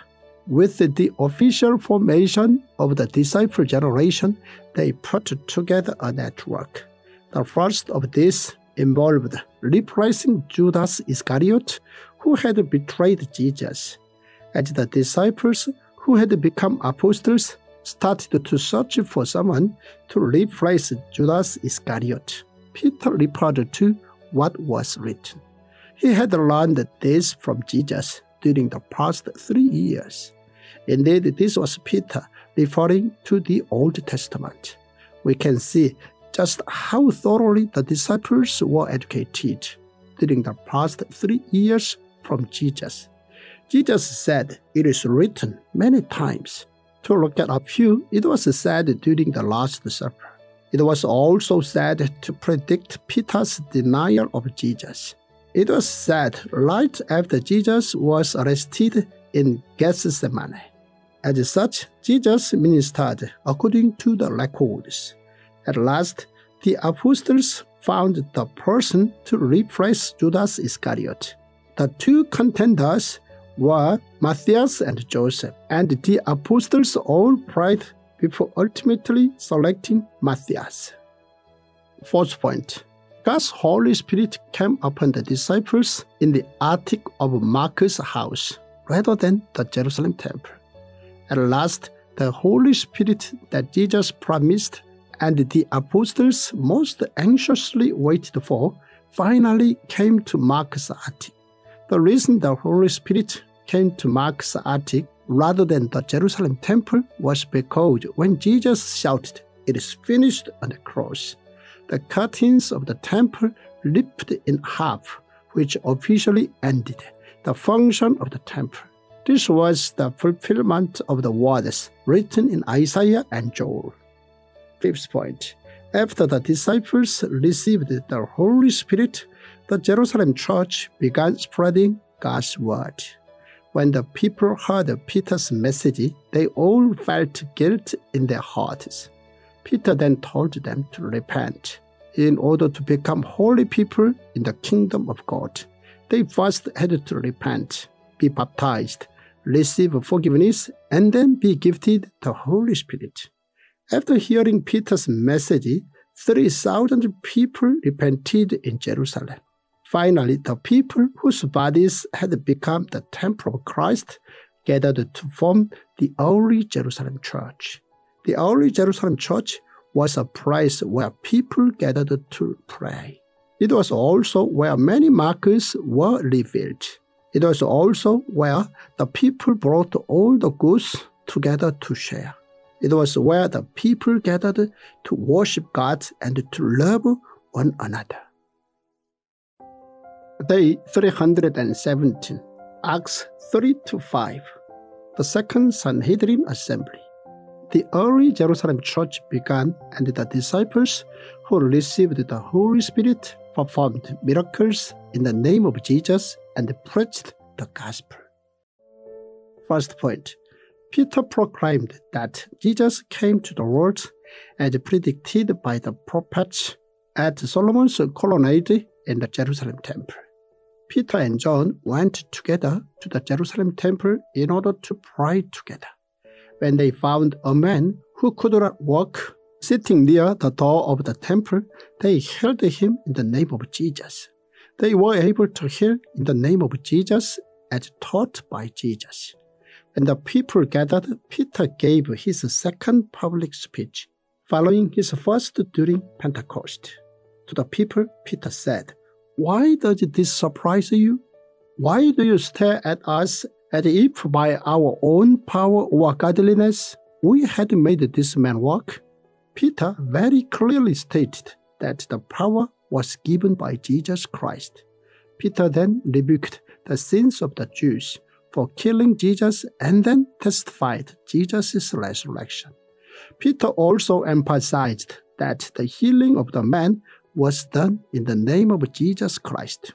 Peter moreover told the people who had gathered there to repent and to be forgiven of their sins. Peter declared that Jesus was the Messiah who had come to the world, as predicted by all the prophets since Samuel. Jesus had come to the Jews first, who were the descendants of Abraham, Isaac, and Jacob, as promised by God. As such, Jesus had been predicted by the prophets, and through Jesus, their words were fulfilled. Second point Peter and John received their trial by the Sanhedrin assembly, where Jesus also received his trial. With the healing of the man who could not walk, Peter and John became the center of the people's attention. Furthermore, when Peter stood at Solomon's colonnade in the Jerusalem temple and confidently declared and testified Jesus, this of course captured the interest of the high priests and the Sadducees. When Peter started to catch the attention of the diaspora Jews, who were the ultimate VIP in Jerusalem for shopping in the court of the Gentiles, this really became a problem for the high priests. The Jerusalem temple was marked by 71 members of the Sanhedrin assembly, who enjoyed enormous prestige from the temple. They were the ones who believed that the temple belonged to them. The apostles came marching into the temple and testified Jesus' resurrection. Consequently, the Sadducees arrested the apostles and kept them till the morning. However, before being arrested, the apostles had converted 5,000 people into believers of Jesus through their testimony. Because of this, the Sanhedrin assembly decided to hold an urgent meeting and to, furthermore, open a trial. The opening of the second trial was in itself an insult to the Sanhedrin assembly. This was because they had already had the first trial with Jesus, and now things had taken its toll. They were furious for having to open a second trial. When the Sanhedrin assembly arrested Jesus, the disciples were so afraid that they all ran away. Peter, who watched the trial from a distance, ended up denying Jesus three times out of fear. Their behavior was so pitiful that the Sanhedrin assembly did not feel the need to arrest the disciples. However, these disciples completely changed and became an increasing threat to the Sanhedrin assembly. Thus, they had to open a second trial, which was really not something they wanted to do. Third point During the trial by the Sanhedrin assembly, Peter testified that Jesus had resurrected. The first Sanhedrin assembly trial was the trial of Jesus, and it occurred during Passover. The second Sanhedrin assembly trial was the trial of the apostles, and this occurred right after Pentecost. The trial began with the questioning from the assembly members. When they started questioning the apostles and created an atmosphere of fear, Peter replied confidently. This, of course, shocked the Sanhedrin assembly. According to their information, the apostles were the disciples of Jesus who did not have much knowledge or courage to stand before the assembly. When Peter started his public speech, they had to proclaim him innocent. However, the assembly threatened the apostles to stop spreading the word of Jesus. To them, Peter declared that he would continue to spread the word of Jesus no matter what. First point the early church testified Jesus' resurrection and witnessed miracles. After the trial by the Sanhedrin assembly, the apostles were set free, and they returned to the Jerusalem church to report all that had happened. Afterwards, the people in the church all gathered to pray. Amazingly, after the second trial by the Sanhedrin assembly, the believers in Jesus increased from 3,000 to 5,000. This was when the Jerusalem church came together to witness miracles. When financial difficulties struck the Jerusalem church, a man named Joseph, who was called Barnabas, sold all his possessions and offered it to the church. Unfortunately, the incident of Ananias and Sapphira also occurred among the church community was a man named Ananias who tricked the people to gain honor. Because of this, he and his wife died. Fifth point Due to the jealousy of the Pharisees, the apostles received their third trial by the Sanhedrin assembly. The third Sanhedrin assembly trial opened, and this was because the high priests and Sadducees were jealous of the apostles.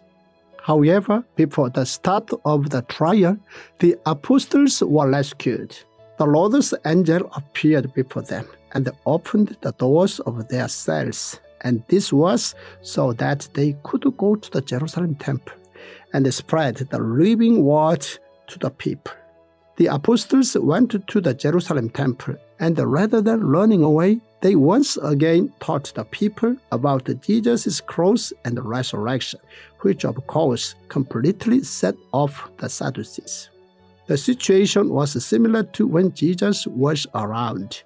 The apostles were followed and supported by the people, and this increasingly threatened the Sanhedrin assembly. The Sanhedrin assembly once again dragged the apostles to court and the high priest started questioning them. To his questions, Peter and the other apostles answered. They repeated what was said during the second trial. This completely set off the Sanhedrin assembly and they shouted to kill the apostles. Here, a member of the assembly called Gamaliel came forward.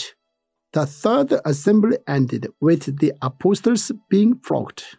Like the first time, the apostles were threatened to stop spreading the word of Jesus.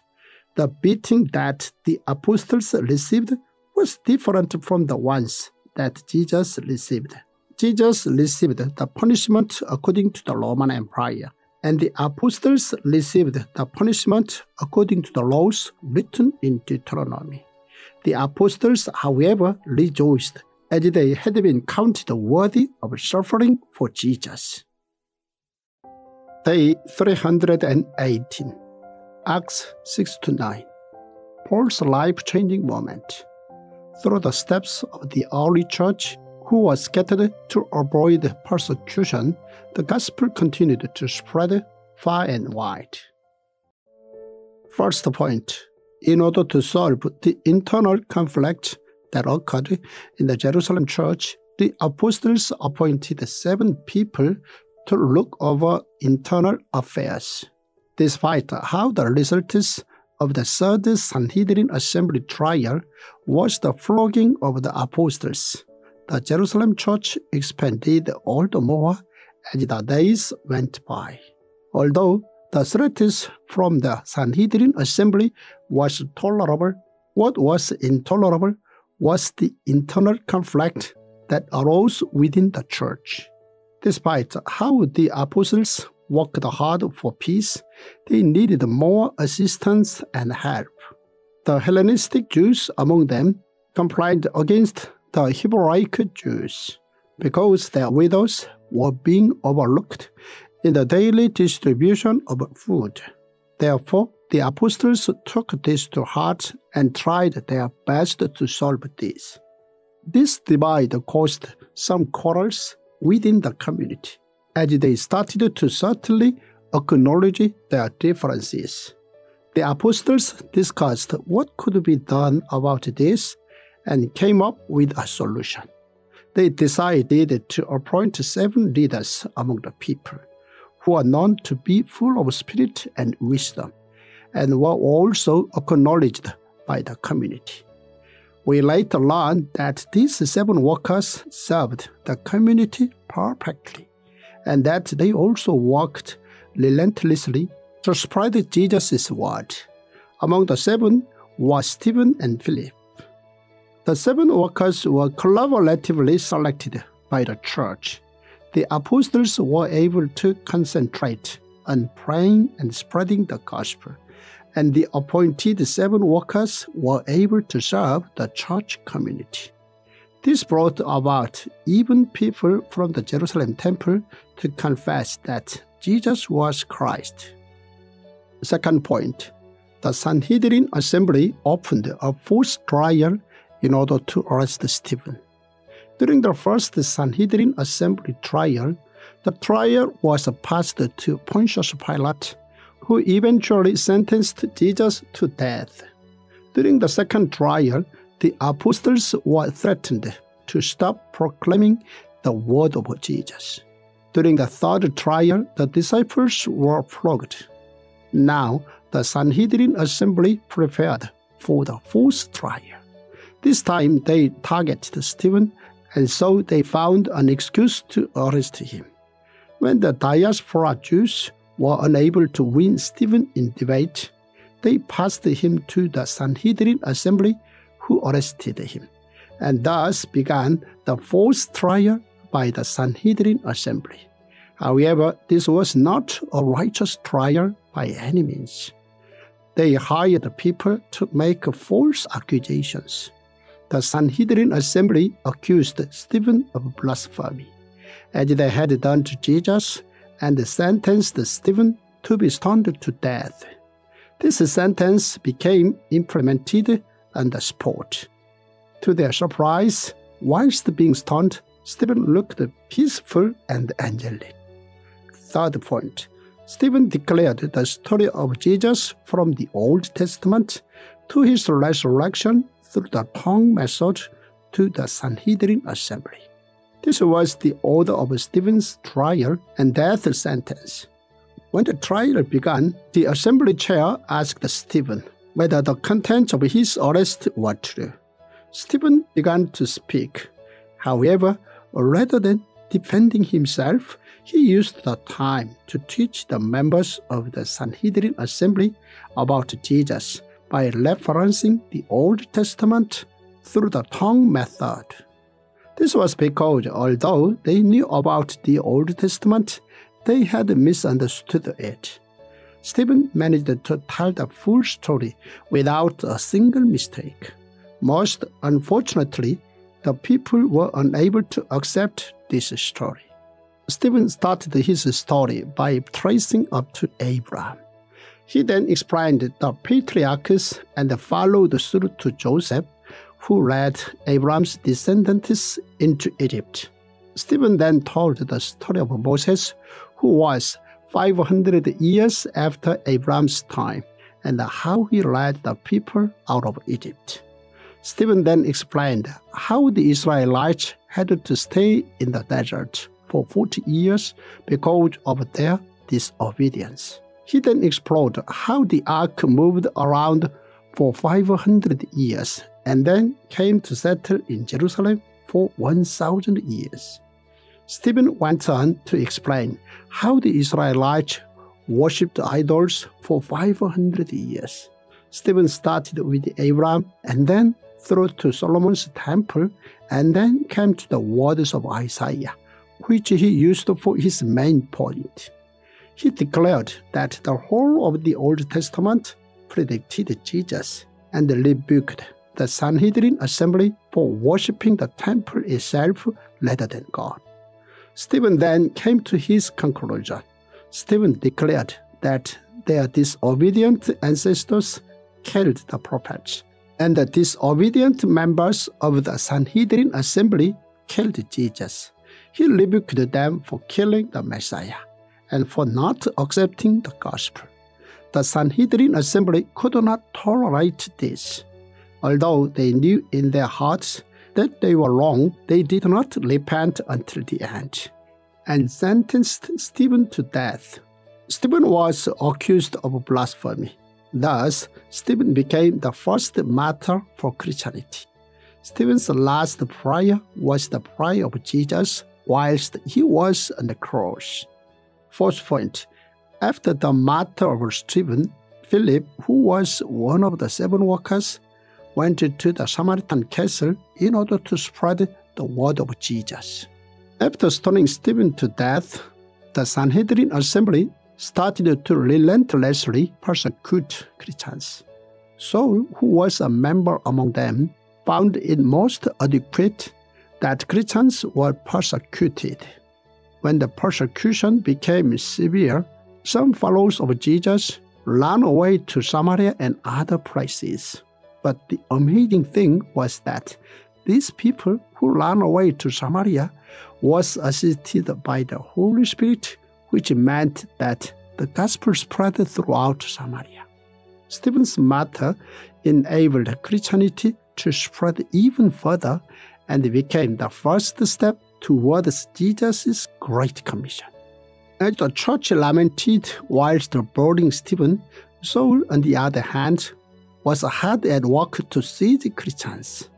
However, no one could stop the gospel from spreading. One example was how Philip spread the gospel in Samaria. Right on, Philip listened to the Lord's angel and went to the desert in order to further spread the gospel. Indeed, he had started to spread the gospel to the ends of the earth. Philip's missionary continued thereon. Fifth point Jesus waited for Stephen on the right side of God and then waited for Saul when he was on his way to Damascus. Saul was on his way to Damascus in order to officially persecute Christians. He received an official decree from the high priest in order to go after Christian leaders such as Stephen. The Sanhedrin assembly at the time controlled 460 to 480 synagogues in Jerusalem alone. The synagogues were used by the Jews to practice their religion. Saul was on his way to Damascus in order to find the Christian leaders. This was where he met Jesus, his Damascus moment. Day 319, Acts 10 to 12. Cornelius, full of the Holy Spirit, Peter broke down his bias of a chosen people only through meeting Cornelius and came to realize the fact that the gospel was the gift for all people. First point Luke introduced Cornelius to Theophilus, who was a Roman centurion. In Luke's gospel, Luke introduced an honest centurion in Capernaum to Theophilus. In Acts, Luke once again introduced another centurion to Theophilus. A shocking thing was that a centurion of the Roman Empire called Cornelius lived a life of worship and prayer to God. Cornelius was a righteous man whose entire family believed in God. He helped many people and always prayed to God. As such, God showed him a vision. The day after God showed a vision to Cornelius, God also showed three visions to Peter. In the vision God showed Peter, he told him to eat foods that were forbidden in the law. Peter was to break God's law, as this was God's command. Peter had not yet realized that with the death of Jesus, a new covenant and law had been established. Whilst Peter was thinking about this vision, some men came to Peter who were sent by Cornelius. When Peter hesitated, the Holy Spirit came upon him to tell him to go with them. Second point Peter met Cornelius and then realized the meaning of all nations. Peter arrived in the house of Cornelius. Cornelius stood before Peter and bowed down. This was a way of welcoming Peter with all his heart. Seen from the outside, it was unthinkable to see a centurion of a Roman empire bowing down to one of their colonized people. When the two men met, they both spoke about their visions. The Jews at the time did not welcome Samaritans or foreigners into their community. However, Peter, who was a Jew, met with both Samaritans and foreigners as he realized that God does not judge a person by their appearance. Peter's realization was later recorded by St. Paul. Per Cornelius' request, Peter started to speak about Jesus. This started the spreading of the Gospels to all nations. This had already been predicted by Jesus. Before this, Peter also lived with a prejudice against the foreigners and Samaritans. However, he managed to break this and open the door for all nations to receive the gospel. When Peter saw that the Holy Spirit came upon Cornelius' family, he baptized them in the name of Jesus. As such, through meeting Cornelius, Peter came to realize the mission of spreading the gospel to all nations. Third point Peter reported to the Jerusalem church that the presence of the Holy Spirit came to Cornelius and his family. When news broke out that Peter met with Cornelius and baptized his family, the circumcised Jews started to rebuke Peter. Peter therefore explained himself to them. Peter calmly explained to the Jews and added the words that the angel said to Cornelius.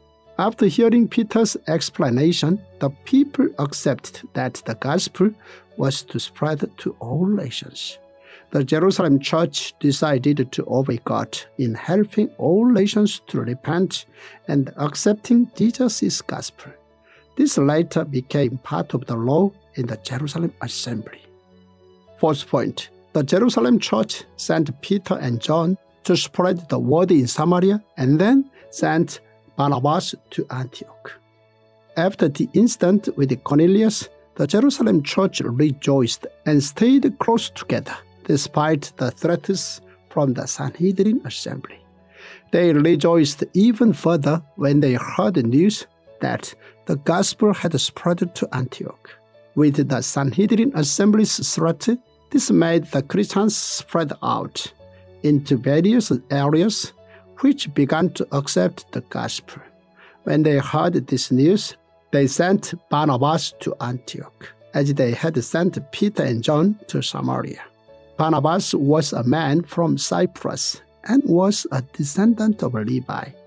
His real name was Joseph, but people called him Barnabas.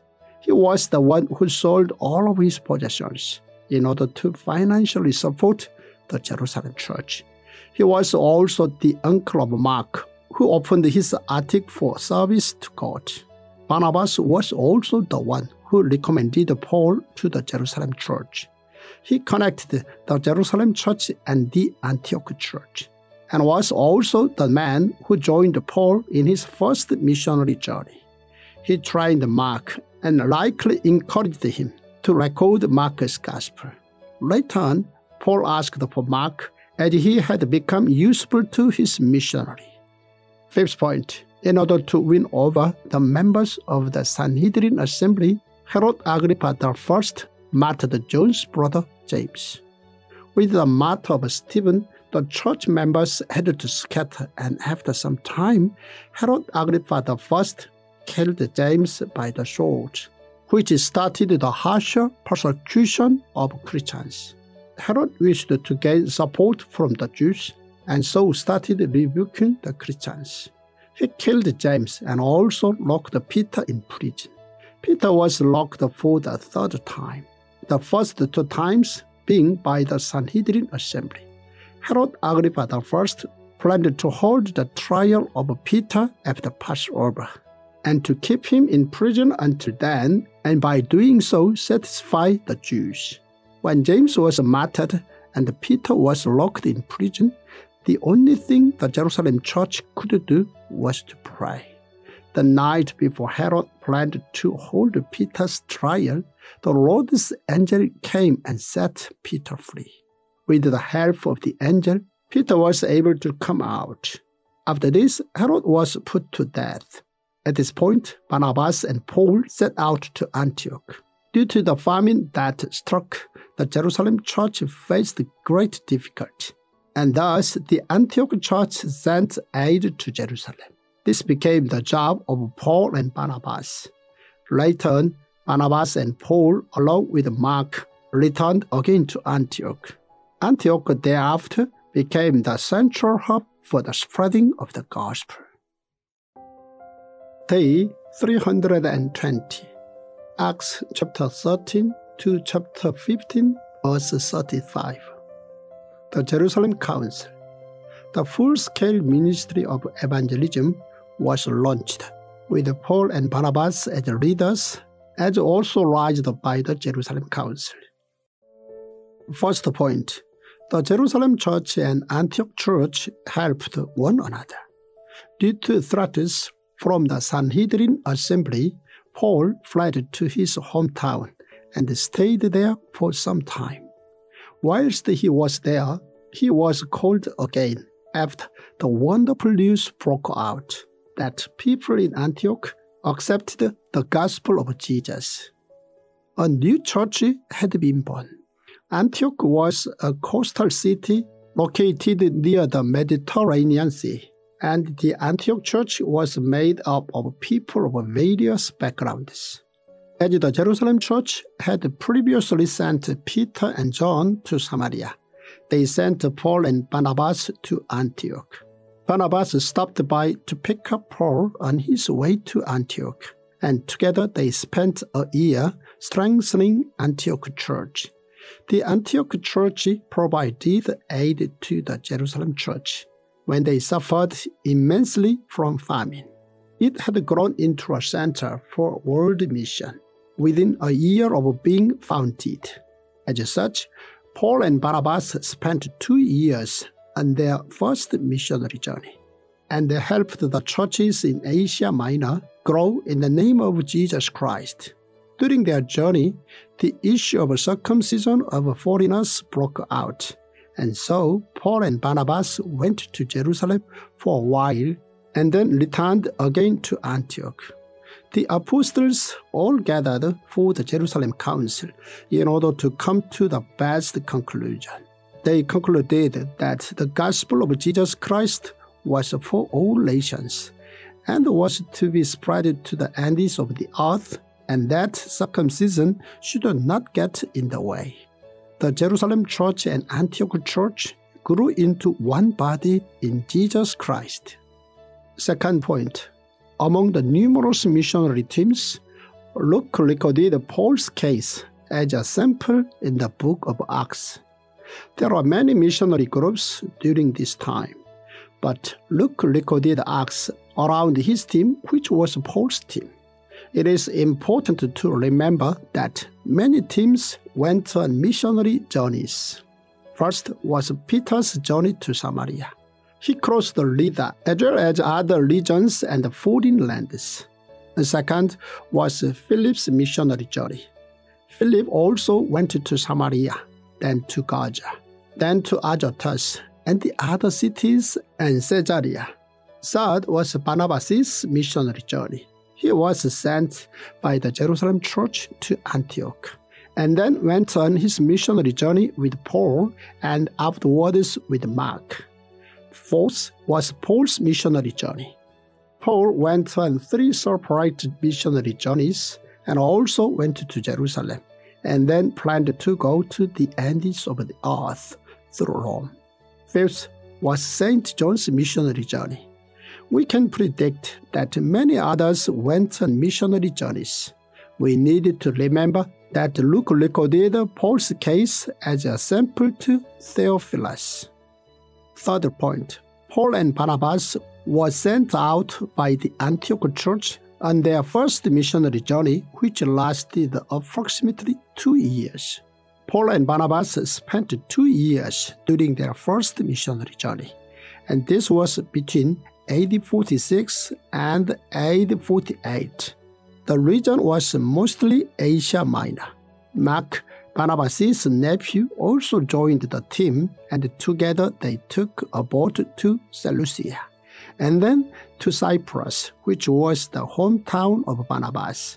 Paul and Barnabas arrived in Cyprus and then went to a place called Salamis, where they found a synagogue to preach the gospel. At first, they used the synagogues to teach the Jews, but the foreigners started to come and so the gospel reached many more people. However, towards the west of Cyprus, in a place called Paphos, they also came across a Jewish sorcerer and false prophet named Bar Jesus. Later, Paul's team went towards Perga, but it was here that Mark left them to return to Jerusalem. And so Paul and Barnabas headed towards Pisidian Antioch. Paul went to the synagogue and was given a chance to preach the gospel there. Paul therefore started with the incident of Exodus and then came to the story of Jesus, and many people listened with interest. However, the Jews who were there were jealous of Paul and Barnabas and so forced them to leave. Paul and Barnabas experienced what Jesus had told his disciples that the people would not listen. They had to leave Pisidia and Antioch, and next they headed towards Iconium. Afterwards, they headed towards Lystra, and here Paul healed a man who could not walk from birth. Because of this, the people there perceived Barnabas as Zeus and Paul as a Hermes, and started to make offerings to them. Barnabas and Paul tore their robes and testified that the miracle was performed in the name of God. The Jews who had interrupted Paul and Barnabas in Pisidian Antioch and Iconium followed them to Lystra and stoned Paul. They thought that Paul had died and so left him there. After almost being stoned to death in Lystra, Paul regained his strength and headed towards Derbe. It is likely that whilst being stoned, Paul thought of Stephen's matter. Paul and Barnabas then returned to all the places they visited and asked the people to pray for them. Next, they went to Pamphylia and spread the gospel there and then headed towards Attalia. They then sent a report to Antioch Church to stress that God had opened the doors regarding the issues of boldness. After doing so, Paul and Barnabas went to Jerusalem in order to solve the issue of circumcision of the foreigners, and they wanted to meet the elders. Indeed, Paul and Barnabas covered a lot of areas in Asia Minor during their first missionary journey. Fourth point the Antioch Church decided to receive trial from the Jerusalem Council concerning the issue of circumcision for foreigners. After Paul and Barnabas ended their first missionary journey, the issue of circumcision of foreigners broke out in Antioch Church. The Antioch church members, however, did not want to listen to Paul and Barnabas' teaching about the only Jesus. This was because they believed circumcision to be a holy tradition. This issue grew serious, and so Paul and Barnabas decided to go to Jerusalem church to get to the bottom of it. The Antioch church sent Paul and Barnabas as well as a few others to Jerusalem, including Titus. Paul and Barnabas, on their way to Jerusalem, visited Phoenicia, as well as Samaria to spread the gospel. Fifth point the Jerusalem Council came to the conclusion that salvation was only granted through Jesus' cross. Now, the historical event of the Jerusalem Council opened. The chair of this council was Jesus' brother James, and in this meeting, Paul and Barnabas reported their first missionary journey. After they reported all their actions and opened the discussion about the circumcision, those who converted from being Pharisees to Christians had a lot to say. They emphasized that foreigners who came to believe in Jesus must also keep Moses' laws and become circumcised. Then Peter lapped up with his speech. The chair of the council, James, made the following conclusions. The first was that the church was not to pick on the non circumcised. The second was for church members to abstain from idol sacrificed food, from the meat of strangled animals, and from sexual immorality. Ultimately, the conclusion made from the first meeting of the Jerusalem Council was that salvation was only in the cross of Jesus Christ. This was firstly so that the entire church could become one. Secondly, the 2000 year tradition of circumcision came to a stop. Thirdly, the gospel was to be spread to all nations. Fourthly, the early church declared that the only important thing was the cross of Jesus Christ. They emphasized that it was wrong to dishonor the meaning of Jesus' cross. In addition, the Jerusalem Council finally agreed unanimously to elevate Paul to the status of Barnabas. Day 321, Acts chapter 15, verse 36 to chapter 18, verse 22. Paul's second missionary journey.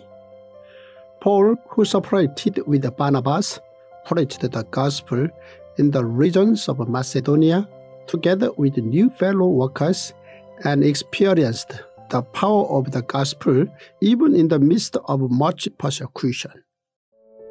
First point with the official approval and love from the Jerusalem Council, Paul formulated his own team and set out for his second missionary journey. Paul and Barnabas returned to Antioch after the Jerusalem Council meeting came to an end, and they all the more passionately taught the people about the cross and resurrection of Jesus Christ. After spending a few days, Paul suggested to Barnabas to go on their second missionary journey. Despite almost dying and all the extremely difficult times they encountered during the first journey, Paul wished to return to all the places they visited. However, a debate broke out between the two, and this concerned Mark. Mark had set off with them during the first journey, but came back to Jerusalem halfway. Barnabas wished to take Mark with them again and give him a second chance, but Paul was against this idea. They were unable to come to an agreement about this and decided to go their separate ways. If Paul did not receive an official acknowledgement from the Jerusalem Council, he would not have been able to form his own team and go. Concerning Mark, we later learn that When Paul was in Rome before being sentenced to death, he sent for Mark as he was useful to his ministry. This shows that Mark did outstandingly well. During his second missionary journey with Barnabas, Mark later wrote Mark's Gospel. Second point Paul revisited the places of his first missionary journey and updated them on the decisions made by the Jerusalem Council in order to give them encouragement and support. Paul set out on his second missionary journey with Silas, and he revisited Derbe and then Lystra, where he had encountered a great deal of difficulty during his first journey. Here they met Timothy, and he became Paul's disciple. Timothy's father was Greek, and his mother was a Jew. Timothy received the finest education from his parents, and he was highly praised in Lystra and Iconium. Paul added Timothy to their missionary team and made sure that no rumors went around about his parentage concerning circumcision. With Timothy on their team, Paul set out again to the places he visited during his first missionary journey and then updated the people about the decisions made in the Jerusalem Council. This increased the number of people who confessed Jesus Christ as the Messiah. Third point Paul's missionary team was led by the Holy Spirit to go preach the gospel in Europe. Although Paul planned to visit more areas within the boundaries of Asia Minor, the Holy Spirit did not immediately permit this. The Holy Spirit instead led him to where he was most needed. In Troas, Paul was given a vision to go to Macedonia. In Troas, Luke joined Paul's missionary team. What started off with two members grew into four, and through the leading from the Holy Spirit, the team went from Asia Minor to Macedonia. They arrived in Philippi, where they met Lydia, a dealer of purple cloth. Paul preached in Philippi, and the Philippian church came to be a big support of Paul in the days to come. During his time there, Paul healed a female servant who was a fortune teller from being demon possessed. But because of this, the owner of that servant reported this to the Roman soldiers. And so he was flogged and sent to prison. But God gave a miracle in this prison in order to save the jailer. Through this, Paul and Silas were able to preach the gospel to the jailer. Fourth point During Paul's second missionary journey, he established the church in Philippi and then wanted to spread the gospel in Thessalonica, Berea, and Athens. Paul's team spread the gospel to Lydia and her family, as well as the jailer, and then founded the Philippian church. Afterwards, they headed to Thessalonica. Here, they preached the gospel to many Greeks and a few prominent women. However, Paul's team was unable to stay here for a long time due to the jealous Jews. Next, they went to Berea, where they came across more people who accepted the gospel. However, the Jews came after Paul's team to Berea to interrupt their ministry. Because of this, Paul left Silas and Timothy in Berea and fled first. Paul left Macedonia and then went to Athens. Athens was a place full of idols, but despite so, Paul and Luke headed towards the synagogue and preached the gospel in the marketplace every day. Paul preached that God is the creator. All humans are God's creation. Jesus Christ died on the cross and resurrected, and that we all had to repent of our sins. When the people of Athens heard this, they did not show a good response. Thus, Paul left Athens Although Paul did not have good results in Athens, he decided that he would, from now on, only deliver the message of Jesus' cross. Fifth point During Paul's second missionary journey, he stayed in Corinth, for a year and six months and sent two letters to Thessalonica. Paul left Athens and then headed towards Corinth. In Corinth, Paul met Priscilla and Aquila. During this time, the Roman Empire was under the rule of the false emperor Claudius. And because he commanded the exile of the Jews, Priscilla and Aquila were lodging in Corinth. Like Paul, they made a living by making tents. Whilst in Corinth, Paul went to the synagogue every Sabbath and preached the gospel. Around this time, Silas and Timothy, who had been in Berea, came to join Paul, and together they started their missionary in Corinth. Silas did the preparations to get financial help from the Philippian church. Timothy brought back news from Thessalonica, and here Paul wrote 1 and 2 Thessalonians. When the results from Corinth were not as successful as he had hoped, Paul was in despair. However, the Lord sent him a vision to console him and told Paul that the people in Corinth were also the Lord's people.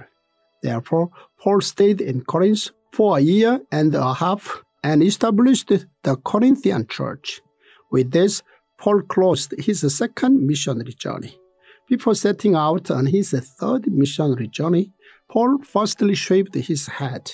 Secondly, he spent some time in Ephesus and spread the gospel there. Later, during his third missionary journey, he returned to Ephesus and spent around three years there. Thirdly, he reported the contents of his journey back to the Jerusalem church.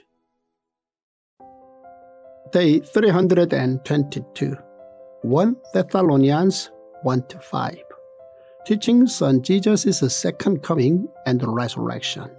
Paul exalted the Thessalonian church like a father in his letter of praise and joy for their belief in the gospel even amidst affliction. First point Many letters can be found in the Bible. When writing a letter, first the person you are writing to must be made clear. Second, depending on whom you are writing to, the manner of the writing is bound to change. Third, information is added, such as the date of the lecture, introduction, some form of conclusion, etc. Fourth, the content should be practical. Fifth, the letter is either a public one or a private one. Paul wrote many letters during his missionary in order to persuade, to report, and to inform various people. Second point, during Paul's second missionary journey, he wrote 1 and 2 Thessalonians and also Galatians. To summarize Paul's letters, they are letters of blessing and peace. Paul used these words multiple times, and this was most likely a reference to the blessings used by high priest Aaron 1,500 years ago. Thessalonica was a place where one of Alexander's soldiers came after Alexander's death and named the city after his wife. Many Greeks and Macedonians at the time lived there, as well as Romans and Jews. As the diaspora Jews lived there, many synagogues existed.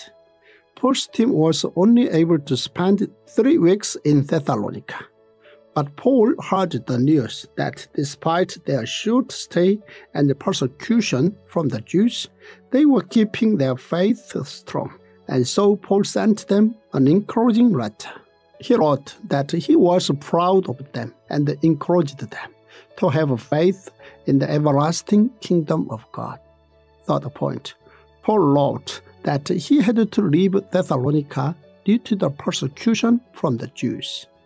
The writers of Thessalonians were Paul, Silas, and Timothy, and the ones receiving the letter were the church members of the Thessalonian church. After greeting them, Paul wrote to them encouraging words. Paul expressed happiness towards the people who were keeping their faith strong, despite how the Jews were persecuting them. Paul outlined that the Thessalonian church disposed of all the idols and then repented and came to God. They also worshipped God and hoped and waited for the second coming of Jesus. Paul expressed his joy in his letter and reminisced on how he preached the gospel in Thessalonica despite persecution. Paul emphasized that he preached them the gospel for God's joy. Paul also wrote that he passionately wished to preach the gospel to them. In order to preach them the gospel, Paul's team nursed them like a mother, did their best not to become a burden to anyone, were righteous and blameless, and encouraged, comforted, and urged them to live in the kingdom of God. Paul wrote that he wished to meet them again, although he had previously tried to visit them again due to many interruptions and persecution, he had been unable to. Fourth point Paul sent Timothy to Thessalonica and heard their news through him. The reason Paul came to write Thessalonians was because whilst he and Luke were in Athens, he became very worried about the church, and so he asked Timothy, who was in Berea, to go and see how they were doing. Thankfully, Timothy came back with good news that they were doing well and keeping their faith strong.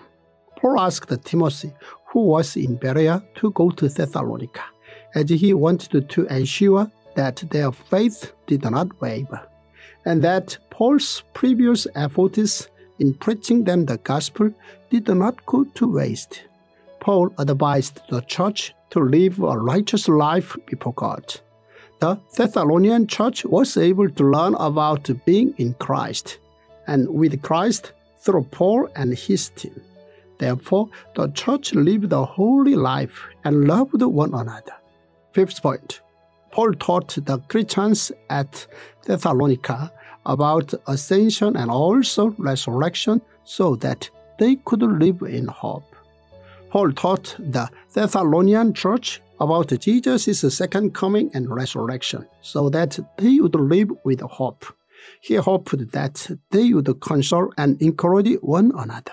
It was also partly because he was only able to spend three weeks with them. In his letter, he asked them to always work hard in Christ. He also prayed for them.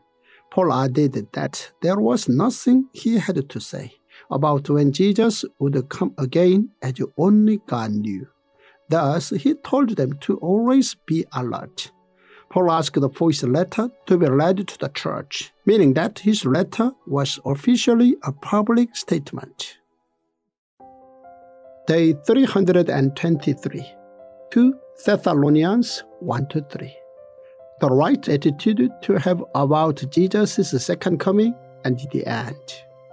Paul taught responsibility to those who neglected their work, thinking that Jesus would come right away. First point Paul started off 2 Thessalonians by warmly encouraging the church members. 2 Thessalonians was written in order to set the record straight about the second coming of Jesus, but before rebuking the church members about their misunderstanding, Paul first started his letter by encouraging them. The reason Paul encouraged them was firstly because their faith had matured greatly. Secondly, the church members had a great deal of love for others. Thirdly, despite the persecution they were receiving, they still kept their faith strong. Second point, Paul told the heavily persecuted Thessalonian church that they would be rightfully honored by God. At the time, the Thessalonian church was heavily persecuted by those who drove Paul out in three weeks. Despite so, they kept their faith strong and persevered. Thus, Paul told them that he was proud of them, and that these times of persecution was temporarily a test. He told them to pray to God for protection and to remember that there are people such as Paul who prayed for them from afar. Third point Paul taught the Thessalonian church about the right attitude regarding Jesus' second coming. Paul taught the members of the Thessalonian church about the right attitude regarding Jesus' second coming and also concerning the end of the world. The reason Paul wrote them a second letter was so that they did not misunderstand or fear the end of the world. Some of the members of the church misunderstood after reading Paul's first letter to them that Jesus' second coming was to happen soon, and so they consequently started to let go of their daily activities, thinking that there was no point. Thus, Paul wrote a second letter to them to reproach this irresponsible attitude. Fourth point Paul taught the Thessalonian church about how to biblically prepare for Jesus' second coming. Paul wrote that in the last moment, big and dark spirits would come to seduce them. In order to prepare against such a moment, they were to strengthen their faith through the Bible. Paul taught them that the only way for them not to waver was through the Bible. Paul, who prayed for the Thessalonian church, now asked them to pray for his missionary team. He asked them to firstly pray that the gospel would spread as it had spread to them. Secondly, he asked them to pray for his missionary team members. Fifth point Paul warned the people who had a misunderstanding about Jesus' second coming. Paul taught the Thessalonian church about how they were to live as Christians. This was the key reason as to why he wrote the second letter. They had misunderstood Paul's words about Jesus' second coming and thus became lazy. Paul firstly advised them to learn from him and his team. Secondly, they were to quietly walk and eat their daily bread. Thirdly, they were to live righteously and not be downcast. Fourthly, if someone did not obey, that person was to be excluded from the community but still be regarded as your brother. Day 324, Galatians 1 to 3. Only cross. Paul stressed to the Galatian church members who were shaken by false truths that we were made free not through the law, but by faith only. First point Paul's focus on only Jesus' cross can be found in both Galatians, and later Romans. During Paul's second missionary journey, Paul went to Corinth and spent a year and a half there. During this time, Paul wrote 1 and 2 Thessalonians and also Galatians. These three letters were his early letters and thus contained his sincere love towards the early churches. In particular, Galatians is the proclamation for peace and can be seen together with Romans as letters for religious reformation. Paul wrote Galatians in order to persuade the church members that faith was above the matters of circumcision or the laws. Paul emphasized that there was nothing above the gospel and that it was confirmed through the Jerusalem Council that the most important thing was Jesus' cross, Paul also proclaimed to be free within Jesus Christ and to bear the fruits given from the Holy Spirit. Second point, Paul repeated the warnings he gave to the Antioch church regarding the laws and the circumcision to the Galatians church. Paul clearly revealed the reason he wrote Galatians. Similarly to the Antioch church, the Galatians church was also stuck in the issue of circumcision, the laws, faith, and salvation. Thus, to those who were so fixed on the old Jewish laws, Paul taught them that there is no other gospel than Jesus Christ. Paul wrote that he received his gospel from Jesus himself, and that he was an apostle, acknowledged by Jesus. Paul explained his apostleship by first declaring that it was given to him by Jesus. Second, he had been called by Jesus to become an apostle. Third, the gospel that he preached was not something he learned from other people. First, he was honoring God through his missionary journeys. Third point, Paul taught the Galatians church of the recent decisions made from the Jerusalem Council that only faith could make a person righteous. In order to explain to the Galatians church about the updated decisions made in the Jerusalem Council, Paul firstly pointed out that he and Barnabas attended the council meeting. James, as the host, made the final declaration. It is my judgment, therefore, that we should not make it difficult for the Gentiles who are turning to God. The Jerusalem Council at that point had already declared that salvation was indeed possible without circumcision. But there were still some people in Galatia who believed that circumcision was crucial in order for salvation. Moreover, Paul added that he was just as much an apostle as Peter was.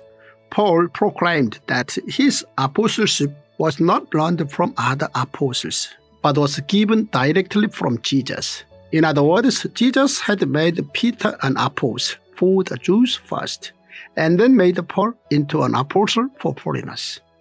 Paul explained of his apostleship through the gospel and also added that he had once rebuked Peter.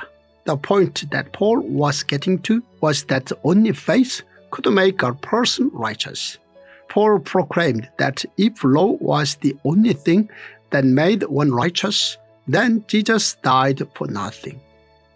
Fourth point Paul used the case of Abraham as an example to teach about receiving salvation through faith. After explaining all this, Paul started to rebuke the Galatians church by using a standard tactic. Paul told them that if they became obsessed with the law again, then they were making all their previous persecution worthless. Paul told them to decide whether the law was more important than faith. Paul used the case of Abraham to teach them about faith and salvation. Fifth point Paul taught that the laws were a prerequisite to learning about Jesus.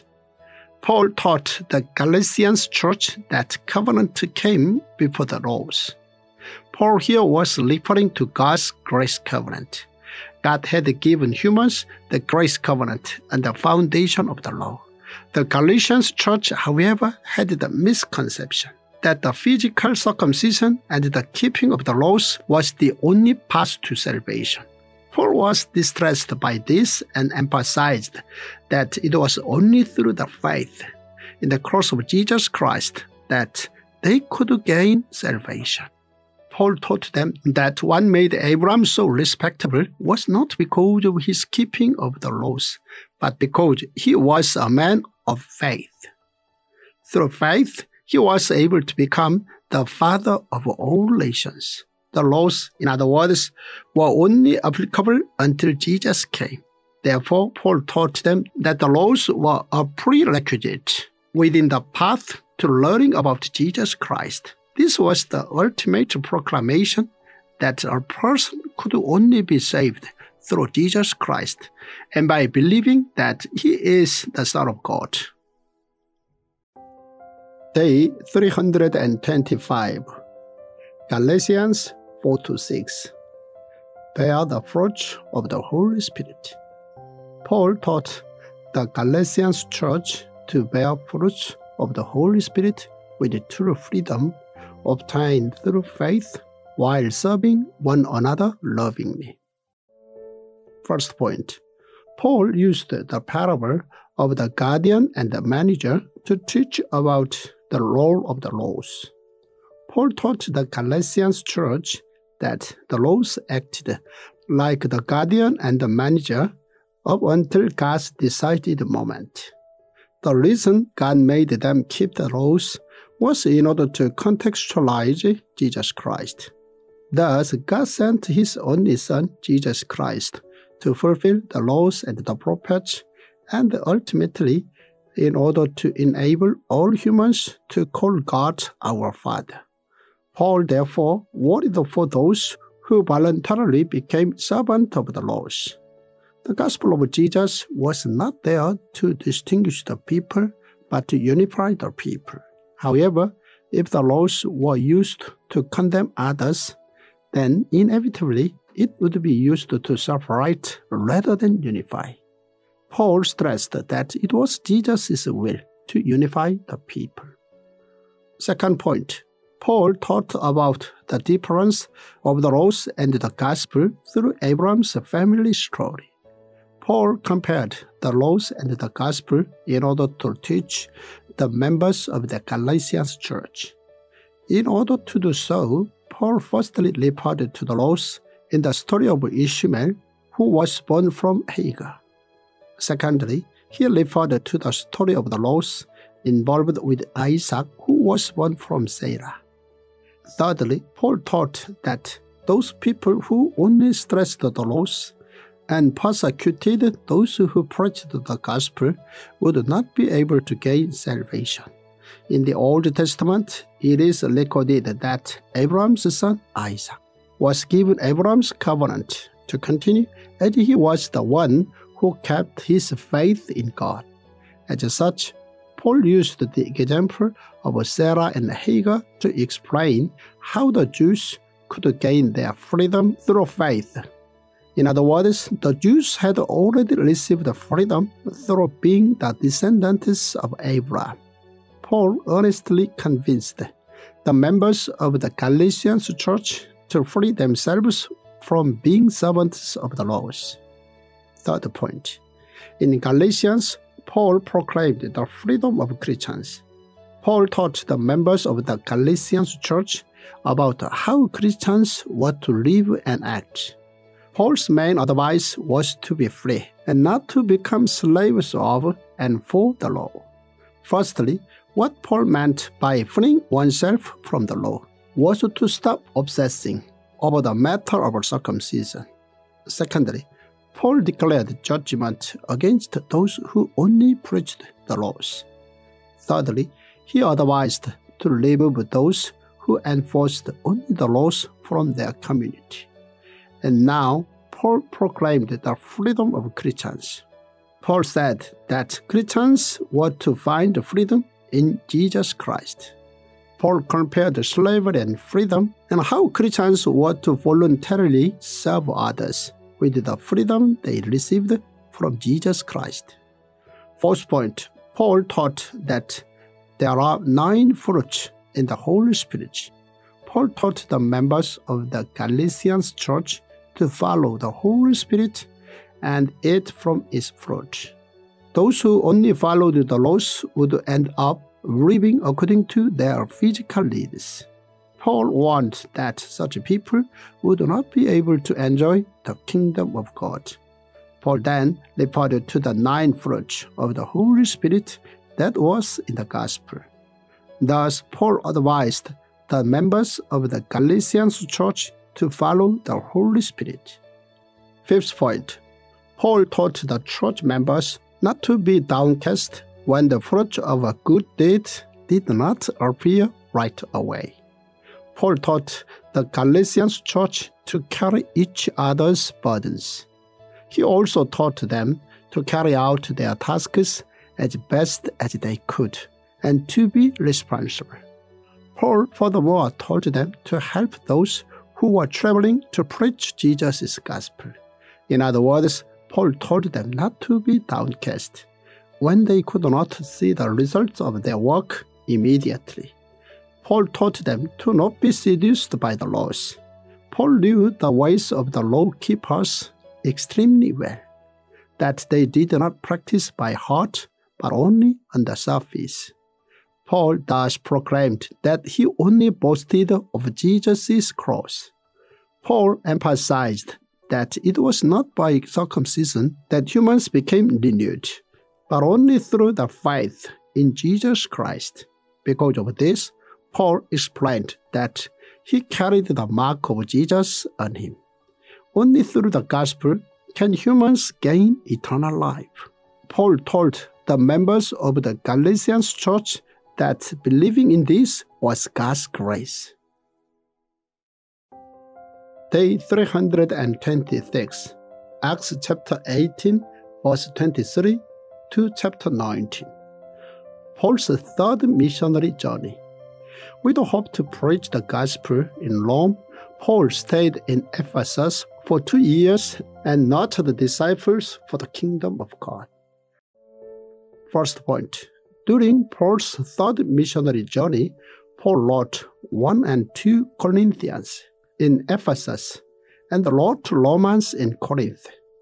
Paul's third missionary journey, which ended in Jerusalem, took place between AD 53 and 57, so approximately four years. This third journey looked back at the places visited during the first and second journeys, and in particular, two years were spent in Ephesus.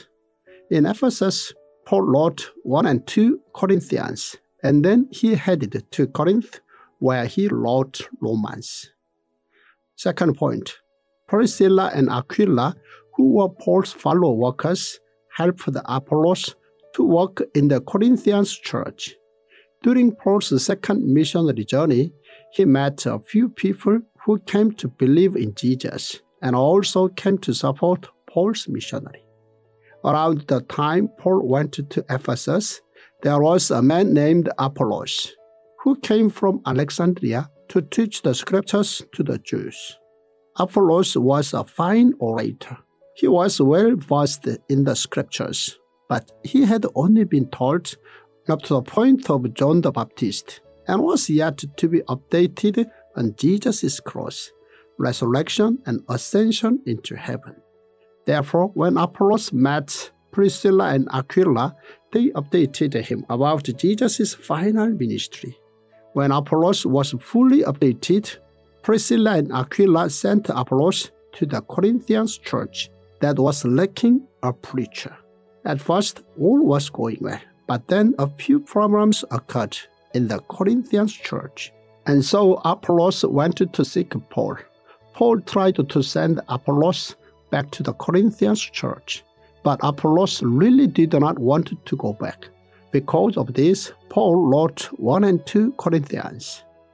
Third point Similar to the time 120 people experienced the wonders of the Holy Spirit in Mark's article, this occurred again to 12 people in Ephesus. During Paul's third missionary journey, there occurred an amazing spiritual experience in Ephesus. The reason Paul went to Ephesus was because he wished to return after visiting there during his second missionary journey. Paul came to find that in Ephesus, 12 people were having a spiritual experience, similar to when 120 people gathered in Mark's attic to experience the Holy Spirit. Fourth point During Paul's second missionary journey, he established the Corinthians church for a year and a half, and then, during his third missionary journey, he established Ephesians church for three years. The highlight of Paul's third missionary journey was in Ephesus, where he was able to nurture disciples.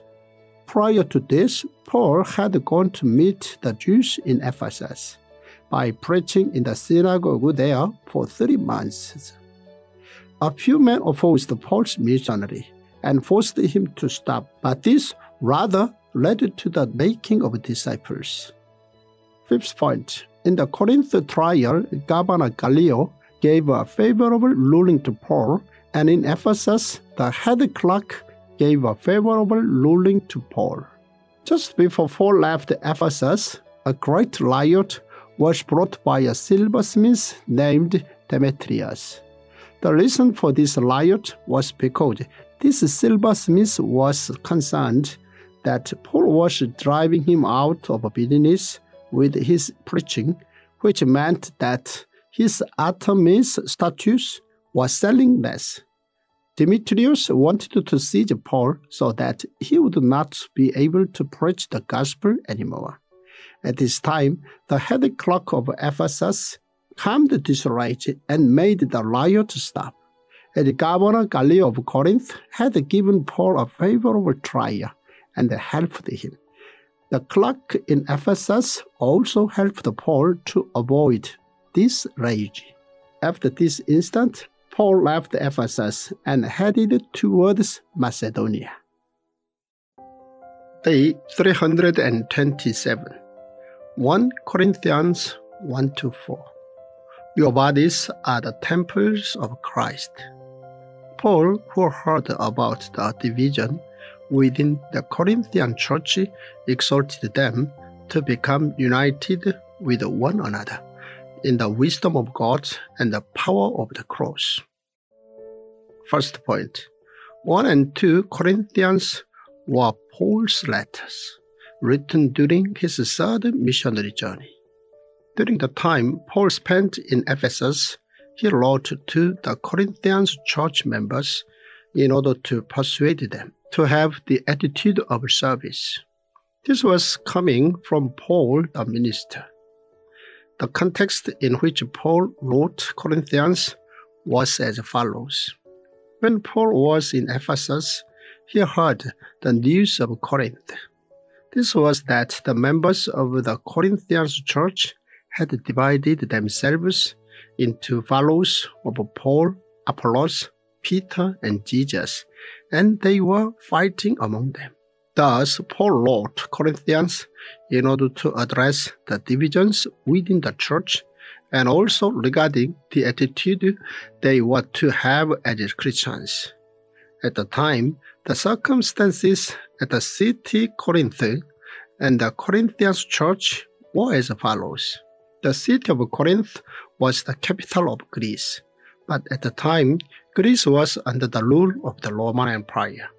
During that time, the population of Corinth was approximately 600,000, but this was divided into 200,000 civilians and 400,000 slaves. Corinth was a special place for maritime trade, and it was a port. Being located near the sea, this meant that Corinth was exposed to many new incoming religions. Amid such circumstances, the Corinthians church was set up by Paul during Paul's second missionary journey. Paul stayed in Corinth for a year and a half in order to establish this church. Paul was assisted by Priscilla and Aquila. Once Paul left Corinth to spread the gospel further, Apollos came to minister. Whilst residing in Corinth, Paul wrote 1 and 2 Thessalonians. Second point Corinthians church divided themselves into those in favor of Paul, Apollos, Peter, and Christ. As Paul started the letter to the Corinthians, he firstly greeted the church members in Christ. After greeting them, Paul thanked them for their eloquent speech and thanked God for giving them wisdom. Paul also thanked them for expanding their faith and also for their abundant abilities. He also thanked God for their relationship with them. After his greeting and thanking them, Paul went into the main text of his letter, which concerned their internal division and conflict. The first part was about their division. The second was about their quarreling. The third was about baptism. Regarding these problems, Paul gave the following solutions. He firstly taught them about the power of the cross. He secondly taught them that the only thing they had to collectively boast about was Jesus. Paul advised them to realize the power and strength of Jesus' cross and boast only of this and nothing else. Here, Paul referenced the words of Jeremiah in the Old Testament. Third point Paul confessed that when he preached the gospel in Corinth, he did not deliver human words or wisdom, but only the cross of Jesus Christ. Paul pointed out the problems in the Corinthians church and then provided them with solutions.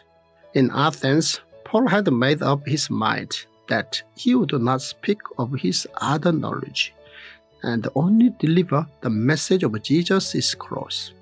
Thus, Paul had only delivered Jesus' cross to the Corinthians church. Paul then confessed the difficulties he experienced during his two missionary journeys, and especially whilst in Corinth, and how he was able to overcome them through the courage and guidance of the Holy Spirit. Paul was therefore able to teach the Corinthians about the wisdom of God. Here, Paul referenced the words of Isaiah. To the Corinthians church, Paul taught that those who receive the salvation received the Holy Spirit, and with the Holy Spirit, they would be able to distinguish the will of God. Here, Paul again referenced Isaiah. Fourth point Paul taught that in the moment of Jesus' cross, our bodies became the temple of Christ. As Paul wrote the letter to the Corinthians, he was able to tell that their faith had not yet matured. Paul wrote that he and Apollos were missionaries who served God and who were voluntarily God's servants. Thus, Paul was the one who planted the Corinthians church. Apollos was the one who watered them. But it was only God who enabled them to grow. To them, Paul declared that their bodies were the temple of Christ. When Jesus proclaimed, It is finished on the cross, the curtains of the Jerusalem temple lifted, and at the moment our bodies became the temple of Christ. After this, Paul wrote about the foolishness of the world. Here, Paul was referencing the words of Job's friend Eliphaz. Thus, Paul taught them not to judge the world through earthly wisdom, but through the knowledge of Jesus. Fifth point, in order to help the Corinthians church, Paul wrote letters and made Timothy deliver them. Paul taught the Corinthians church not to judge. He told them to regard the evangelists as those entrusted with God's secrets. What God requires from them is loyalty. Thus, human judgment is not important. The most important thing is God's final judgment. Paul continued to teach them not to be arrogant. They were to get rid of their arrogance and learn to be humble.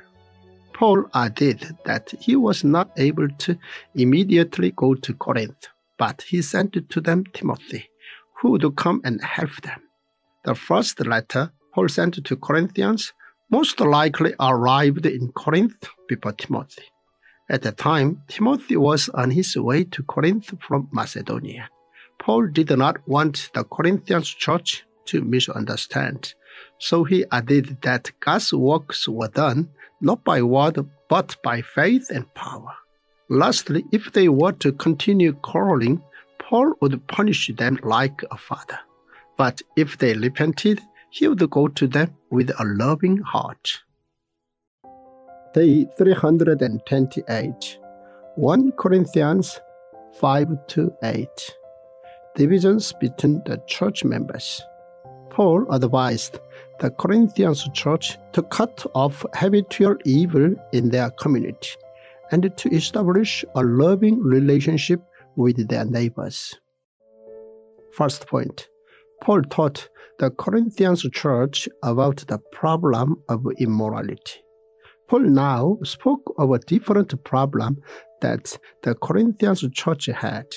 This was none other than immorality immorality itself was a problem, but the fact that they did not regard this as a problem was the reason Paul rebuked them. Regarding the problems that may occur within the church, Jesus taught them in three stages. The first was to meet one to one. The second was to repent before two or three witnesses. The third was to advise the person to repent and in the case that they did not, they were to be dismissed within the community. Paul rebuked them for not following these three steps to those who had fallen into immorality. He then told them to repent and be saved. Paul reminded them of how they had misunderstood Paul's teachings in the past. In the past, when Paul taught them not to be befriend those who committed adultery, they had interpreted this the way they wanted. Thus, they want to leave the judgment about those people to God. However, as the church was established through the price of Jesus' blood, it was not an easy matter to cast out a member of the church. Paul therefore advised to stay away from those people. The body will decay after death, but the spirit lives on. So it is vitally important to make an environment whereby people will repent and be saved. It is thus important to help people repent and to start again. Second point, Paul taught about trial between the church members. Continuing on, Paul taught about the issue of trial between the church members. The first advice was to take on damages forgivingly.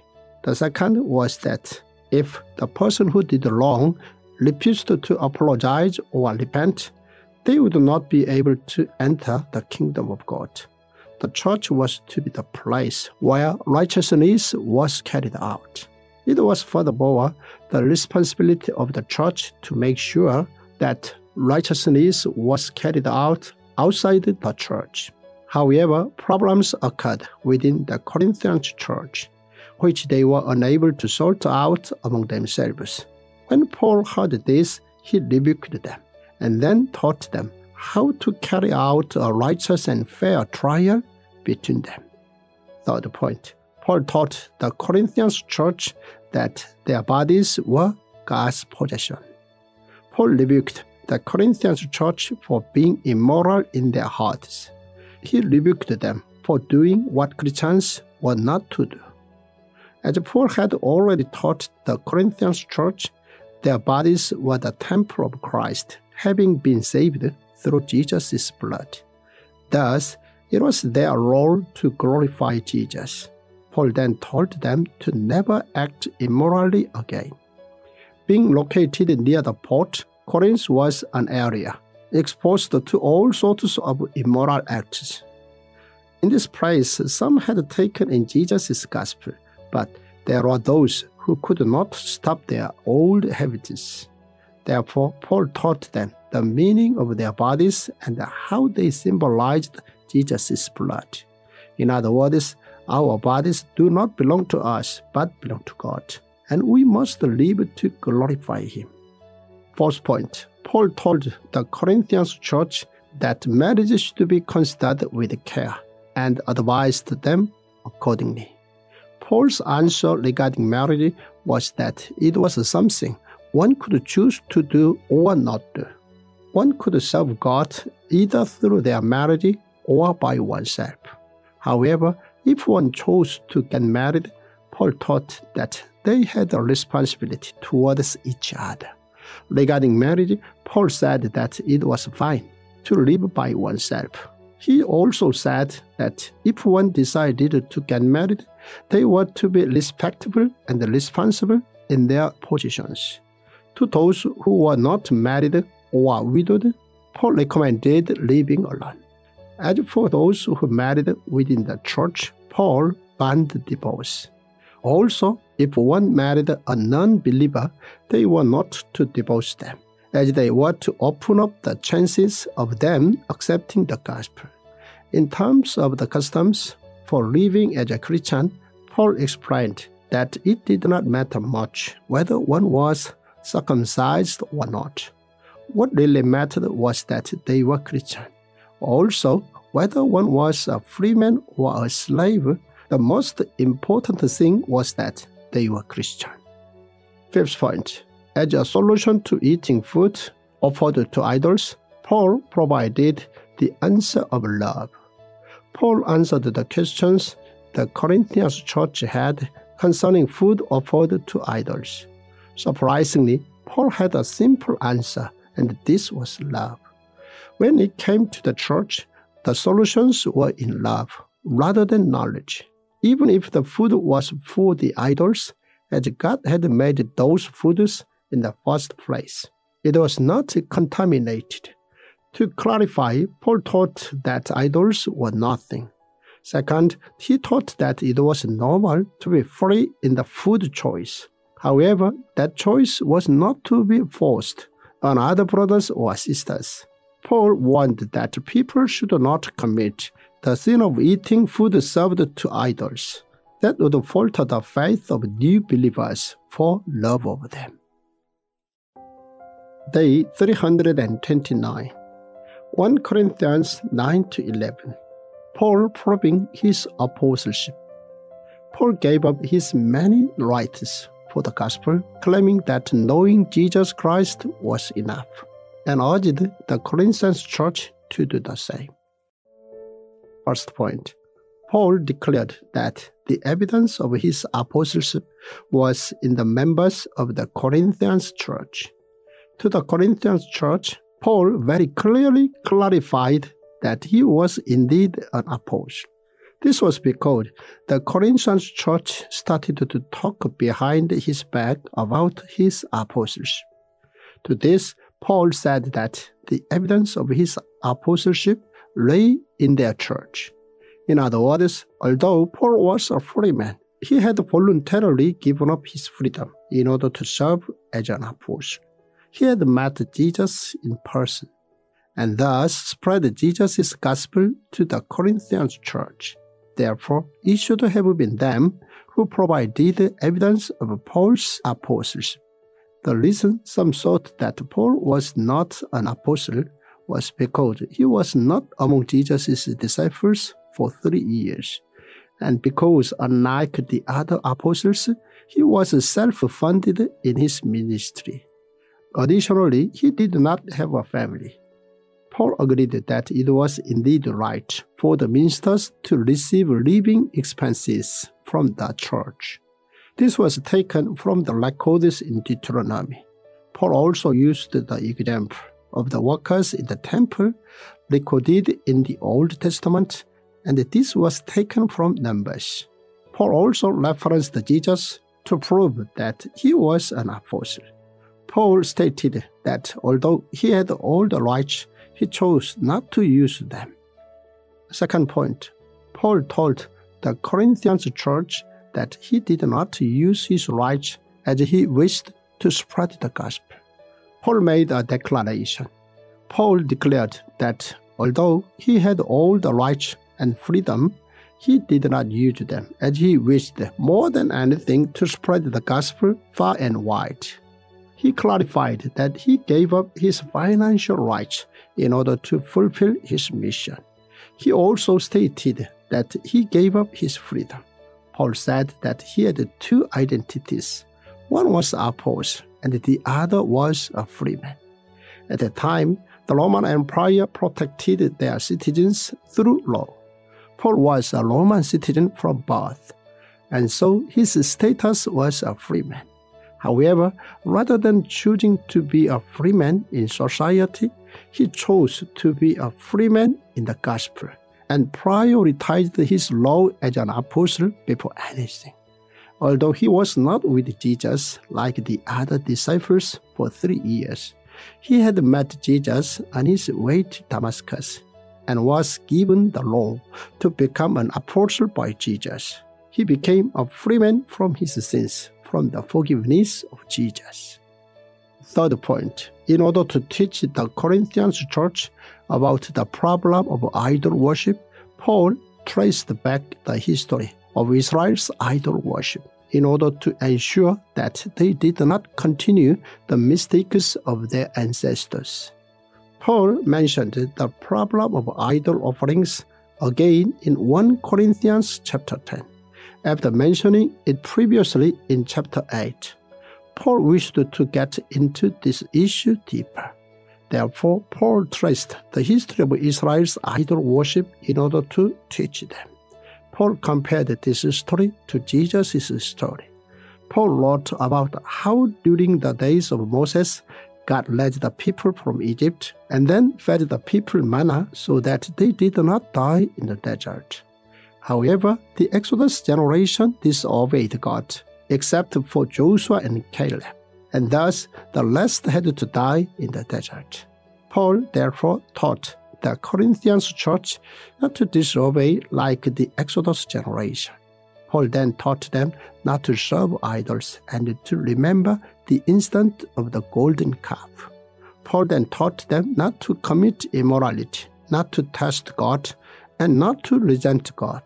As such, Paul told them to learn from the mistakes of the Israelites and to repent before God. Paul found the solutions to their problems by tracing the history of the Israelites. Fourth point Paul explained the relationship between Christ, man and woman through the order of creation. Paul traced back to creation in order to teach the Corinthian church. This was not simply in reference to man and woman. Humans come in various forms man, woman, elderly, young, etc. Everyone looks different and have different personalities. Each person is born through God's vision and plan.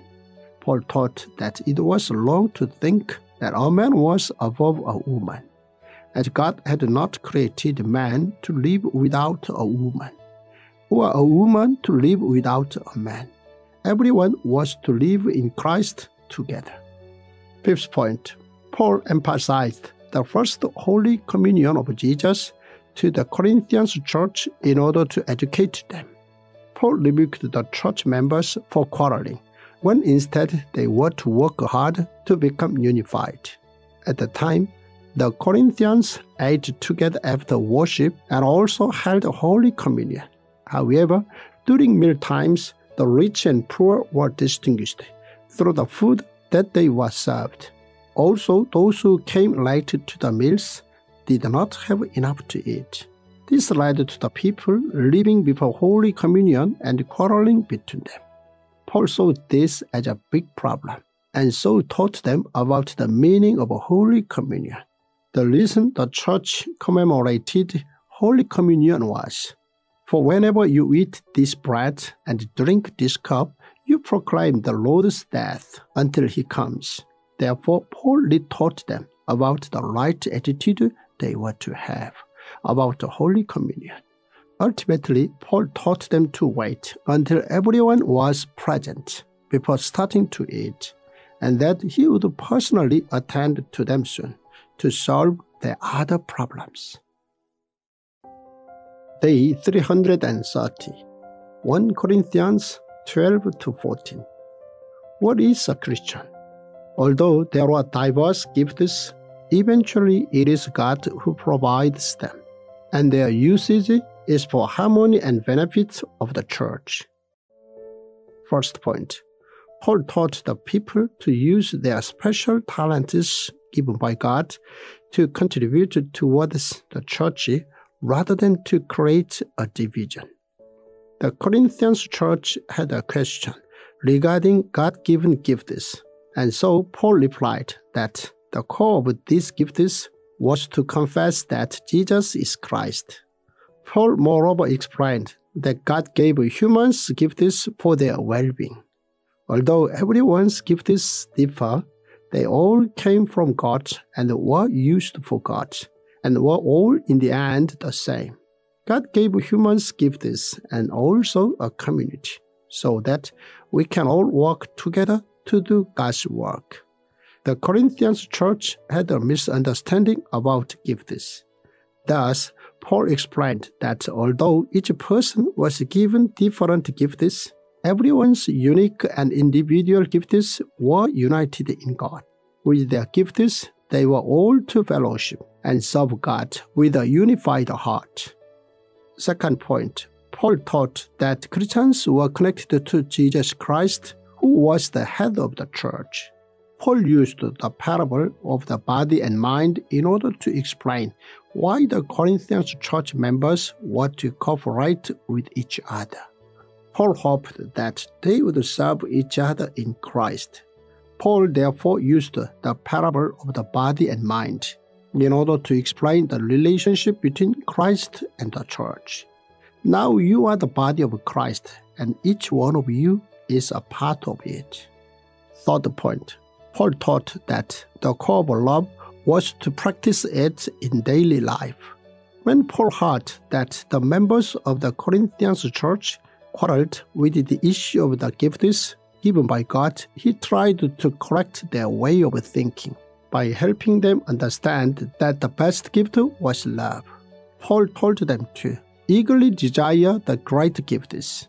The great gift mentioned here was indeed love. At the time, the Corinthian church members, as well as Christians and the whole, believed that the following abilities were precious. First, the ability of dialect and prophecy. Second, the ability to make a miracle. Third, the ability of age. And fourth, the ability to be a martyr. However, all these abilities were missing its core if they were not carried out with love for God and for neighbors. Paul explained the characteristics of love. True love was to be implemented in daily life. Later on, St. John also defined what love meant. Fourth point Paul taught further about the special talent given by God and how to use it for the church community. Paul continued to teach the Corinthians church about gifts. He first taught them to long for prophecies. Second, to those who did not understand dialect, Paul explained through parables. If a pipe or harp is played, but there is no distinction in the notes, then no one will know what the tune is. On the same lines, if the sound of a trumpet cannot be heard properly before battle, then no one can prepare for war at the right time.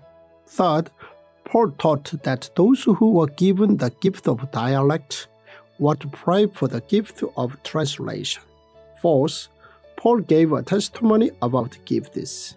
Paul, moreover, taught them about God's gift of dialect and prophecy and their purposes. He then told the church members to be full of wisdom and also taught them the purpose of dialect and prophecy as written in Isaiah. Paul compared them to how their ancestors did not listen to the words of the prophets, and so had to live under the rule of other nations. Thus, Paul advised the church to seek prophecy more so than dialect. Fifth point Paul reminded the church members that God given talents exist in order to establish and sustain the church. Paul told the Corinthian church to take care in establishing the order of the church. This involved using all the gifts for the church community. Concerning dialect and prophecy, Paul gave the following teachings. During dialect, there was to be a translator. When there was no translator, dialect was forbidden. Prophecy was likewise to be done one person at a time, and to take turns when another person spoke. There was to be order established regarding these matters. Day 331 1 Corinthians 15 to 16. Witnesses of resurrection. Paul stressed that believers should have hope in the resurrection and encouraged the Corinthians church to be glad in relieving the Jerusalem church. First point Paul taught the Corinthians church to have a hope in resurrection. 1 Corinthians records many of the answers Paul gave to the Corinthians church members who asked questions. In chapter 15, Paul did not write that they specifically asked regarding the question of resurrection, but he added this with the consideration that they should know. Paul, moreover, testified that many people witnessed Jesus' resurrection. Among them were Peter, the other disciples, 500 brothers, James, and all the other apostles, then Paul himself. Paul testified that Jesus came to him who at the time was persecuting Christians and revealed his resurrected form so that Paul could testify. Second point, Paul taught that the resurrected Jesus would ensure that the church members also resurrected. Paul confirmed to the Corinthian church who doubted Jesus' resurrection that Jesus did indeed raise up from the dead and that they would also resurrect. Paul said that if there was no resurrection, it would be useless to believe in the gospel or to have faith, and furthermore, they would all be useless witnesses. If there was no resurrection, those who died and those who were to die would be forever destroyed. If there was no resurrection, those who had faith would have to live without any hope. Paul confirmed that the resurrected Jesus would enable the church members to also resurrect. This was all possible through Jesus. Thus, Paul told them that all would resurrect when Jesus came for the second time. Ultimately, when he came for the world to end, Jesus would bring the final victory. Third point Paul declared that the church members would experience resurrection and witness the final glory. Paul told the Corinthians church about how they would experience resurrection. Paul thanked God for promising us the second coming of Jesus Christ and for the final victory through the laws which were prerequisites into the gospel. Humans were to realize their sins, and the penalty of sin was death. However, although it was only natural for humans to die, all humans who believed in Jesus Christ would be able to resurrect again and experience the final victory. Paul referenced Isaiah and Hosea as proof of this and gave thanks to God. As such, Paul taught them about the resurrection and then advised them not to waver or misunderstand. Fourth point Paul asked the Corinthians church to treat Timothy who was going to them in Paul's place as they would treat Paul himself. As Paul wrote to the Corinthians church, he asked them to provide financial aid to the Jerusalem church. Paul had previously asked the same request to the Galatians church. It is likely that Paul asked all the places he went to help the Jerusalem church. The reason he wished to collect the funds was in order to help the Jerusalem church who were poor. Paul hoped that the Jerusalem church would collaborate with the other churches and practice love and giving. As Paul wrote 1 Corinthians, he asked them to take care of Timothy, who was on his way from Macedonia. Paul had worried that Timothy would face difficulty when he arrived at the Corinthians church at the time was facing internal divisions. Timothy was on his way to Corinth. Paul knew that his letter would reach Corinth first, and so he asked in his letter to take care of Timothy before he arrived. Fifth point Paul outlined the news of the other churches in Asia and ended his letter by telling the churches to greet one another. As Paul finished his first letter to the Corinthians, he requested a few things to them. The first was to be on your guard, stand firm in the faith, be courageous, be strong. And secondly, do everything in love. After this, Paul wrote his final wishes. Paul wanted the church members to read his letter together and then greet one another through a holy kiss. This was to get over their quarreling and misunderstanding. Paul lastly wrote his wishes for the church to greet Priscilla and Aquila. Day 332 2 Corinthians 1 to 4. You are the letters of Christ.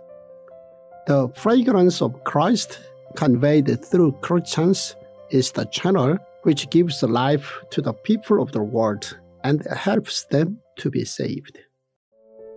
First point Paul asked the Corinthians church to continually pray and persecution was to continue. Paul wrote his letter so that it could be circulated around the Corinthians church and then to the other churches across the region. He hoped that it would reach Athens and other churches around. As Paul wrote to Corinthians, he firstly greeted them, praised God, and then explained why he was unable to greet them in person and instead was writing a letter. He wrote that he was going through difficulty. We do not know exactly what he was referring to but we can imagine that it was persecution against the Christians. Paul wrote that it was harsh to a point of losing hope in life. Paul asked the Corinthians church to pray for him as he faced more persecution in the future. This was as Paul had faith that God would listen to their prayers. Second point, Paul explained why he had to postpone his visit to the Corinthians church. Paul wrote in his previous letter his plans to visit the church. Although Paul had plans to revisit, he was unable to go, and so some of the church members started to misunderstand. Thus, Paul wrote another letter to explain the reasons. Paul explained why he had to postpone his trip several times. The first was to obey God's command. The second was to give the church some time to figure out their problems among them. After this time was up, Paul hoped to spend more time with them. Paul put God's plans before his own. From afar, Paul prayed and hoped for the Corinthians to mature in their faith. However, Paul came to find out that some of the church members had misunderstood his first letter. Paul therefore expressed that he had only love for them. Paul did not wish to rebuke them, but rather wanted to console and encourage them so that they would continue to establish the church. Third point Paul outlined what he thought was apostleship to the Corinthians church. Paul thanked God for giving him his apostleship. He thanked God for giving strength to apostles to be victorious through Jesus Christ. He also thanked God that he was able to spread the scent of Christ as an apostle. The scent of Christians could help people to start a new life by helping them to get to know Jesus better. Paul confessed that his role was to pass this scent. Although there are many who tried to make a living off God's words, he wished to be used as God's tool to spread the scent of Christ. And he told this to the Corinthians church. Furthermore, he told the church members that the evidence of his apostleship was in the Corinthians church members. Among the Corinthians church, there are few who questioned Paul's apostleship, and so Paul very clearly pointed out that he was part of the new covenant given by God. Fourth point Paul taught that those who were workers for the new covenant would see glory beyond the belief. Paul wrote about the glory for the worker of the new covenant. This was the covenant given by Jesus. This was previously predicted by Jeremiah. Paul revealed that he was not a worker for the laws that tried to kill him, but a worker for God's new covenant, which saved him. Thus, the new covenant was full of glory. Paul explained that the laws eventually killed humans for their sins. Paul therefore explained the laws as an elementary level into the learning of Jesus' gospel. Paul then compared the laws to the gospel, the old covenant and the new covenant, the trials and the spirit, killing and saving, glory and bigger glory, finite and infinite things, etc. What Paul ultimately wanted to teach was that the old covenant was incomparable to the new covenant in terms of glory. Fifth point Paul stressed that it was possible to spread the gospel no matter how severe the persecution or hardship became. Paul stressed that his apostleship focused only on spreading the gospel of Jesus Christ. The reason Paul decided this was firstly because God gave Paul the light of the knowledge of God's glory. Secondly, God had given to Paul a treasure in jars of clay. Therefore, Paul declared that he was able to spread the gospel no matter what hardship or persecution. Paul confessed that when someone came across the gospel, their physical appearance may wither, but their internal state is renewed. He also added that the persecution was temporary, but God's glory was forever. Day 333 2 Corinthians 5 to 9 Widen your hearts. A Christian's duty was to make peace through the help of the Holy Spirit and to serve beyond one's circumstances. First point Paul declared that the reason he was able to spread only Jesus' gospel was because he truly believed in eternal life and the final judgment. Paul revealed the reason as to how he was able to only spread the gospel of Jesus Christ. Paul taught the Corinthian church members that although our physical bodies are on earth, our eternal lives were in heaven. For this reason, God had sent the Holy Spirit. Christians could therefore be courageous and have a desire to be with God. Paul moreover explained that he was able to spread only the gospel of Jesus Christ, as he absolutely believed in God's final judgment. He added that he was able to endure all the current hardship and persecution, as he dreamed of God's joy and the spreading of the gospel. Paul declared that he wished more to be with God than for his body to live easily on earth. In other words, he proclaimed that although he was going through much difficulty, he was ultimately full of joy and he knew that his reward was heaven. Second point, Paul, who was a peacemaker, taught the Corinthian church members to have a big heart. Paul declared to the Corinthian church that he received his apostleship from Jesus' everlasting love. Paul said this not to reveal his status, but to clarify to those who did not understand. Since meeting Jesus on his way to Damascus, Paul's life had completely changed. Thus, Paul was able to proclaim that those who met Christ were renewed. Paul added that God had helped them fellowship. On these lines, Paul told the Corinthian church to also fellowship with God. Paul warned them not to put to waste God's blessing or grace. Here, Paul referenced the words of Isaiah.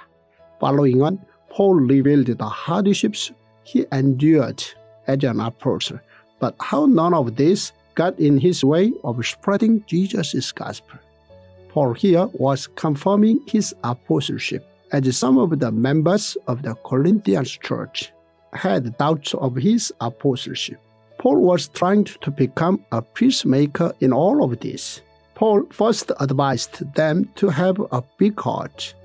Paul clearly explained the reason as to why problems between them occurred in the first place.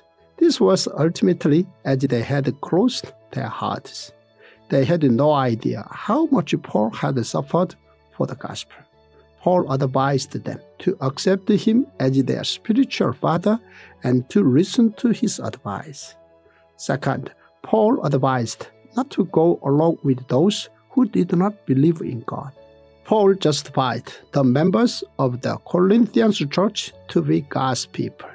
Third, Paul advised them to live as God's holy people.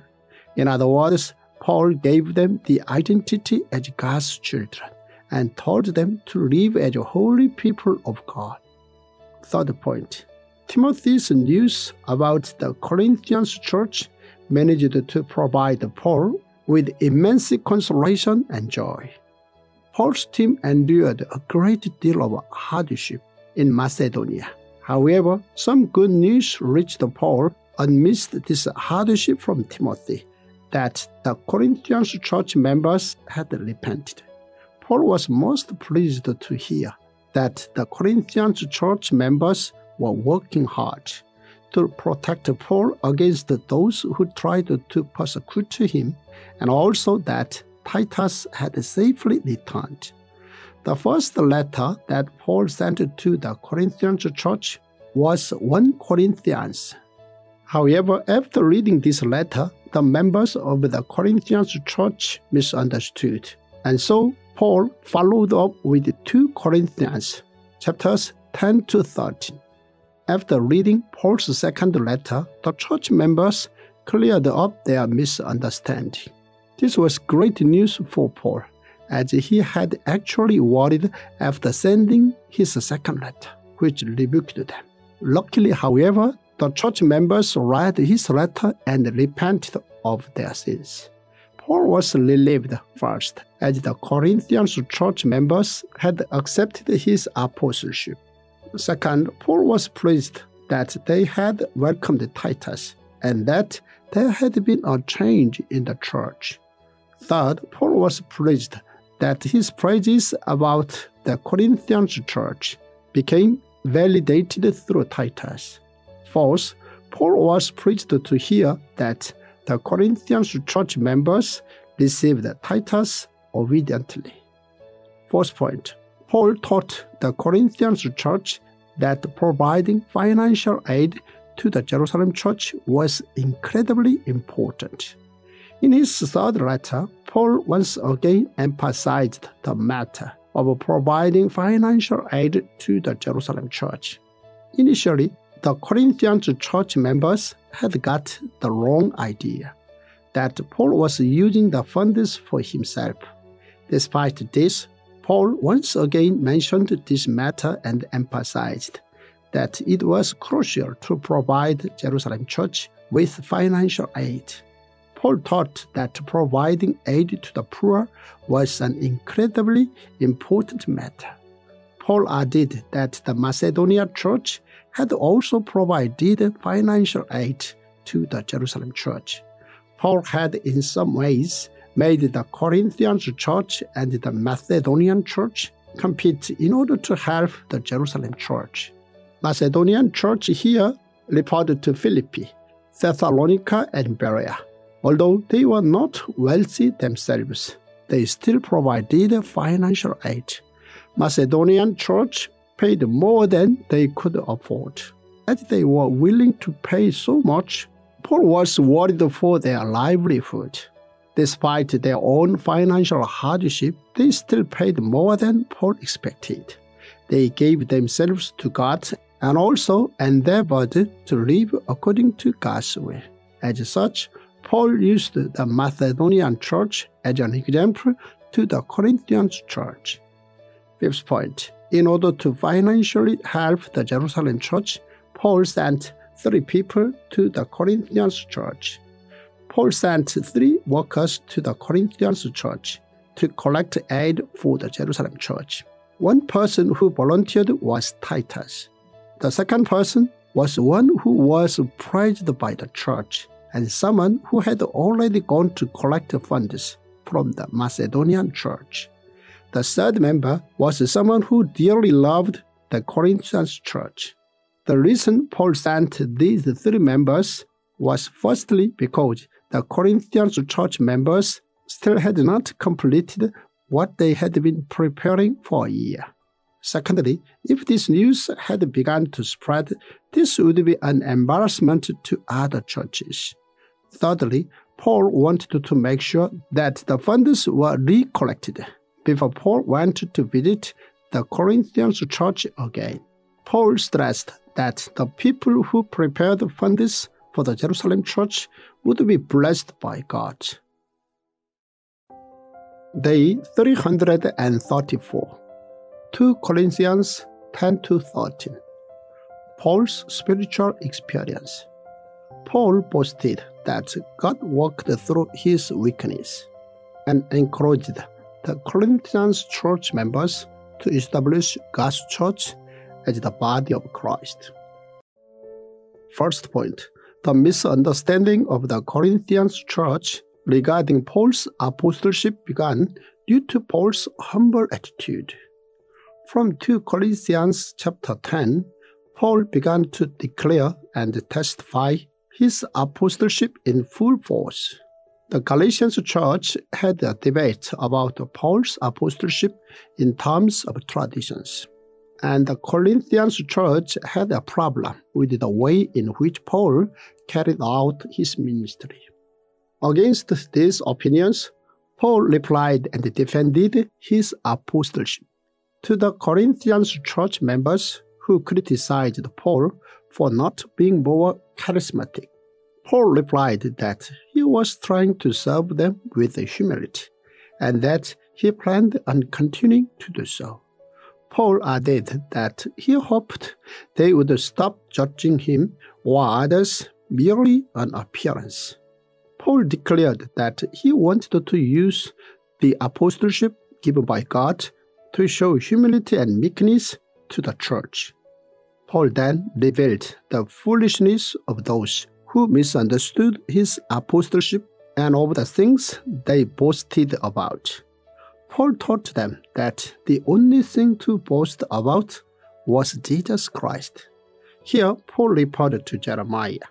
Paul wrote that his apostleship did not depend on their praise, but on God's praise. Second point, Paul confessed his hardships until now as an apostle in order to prove that he was an apostle.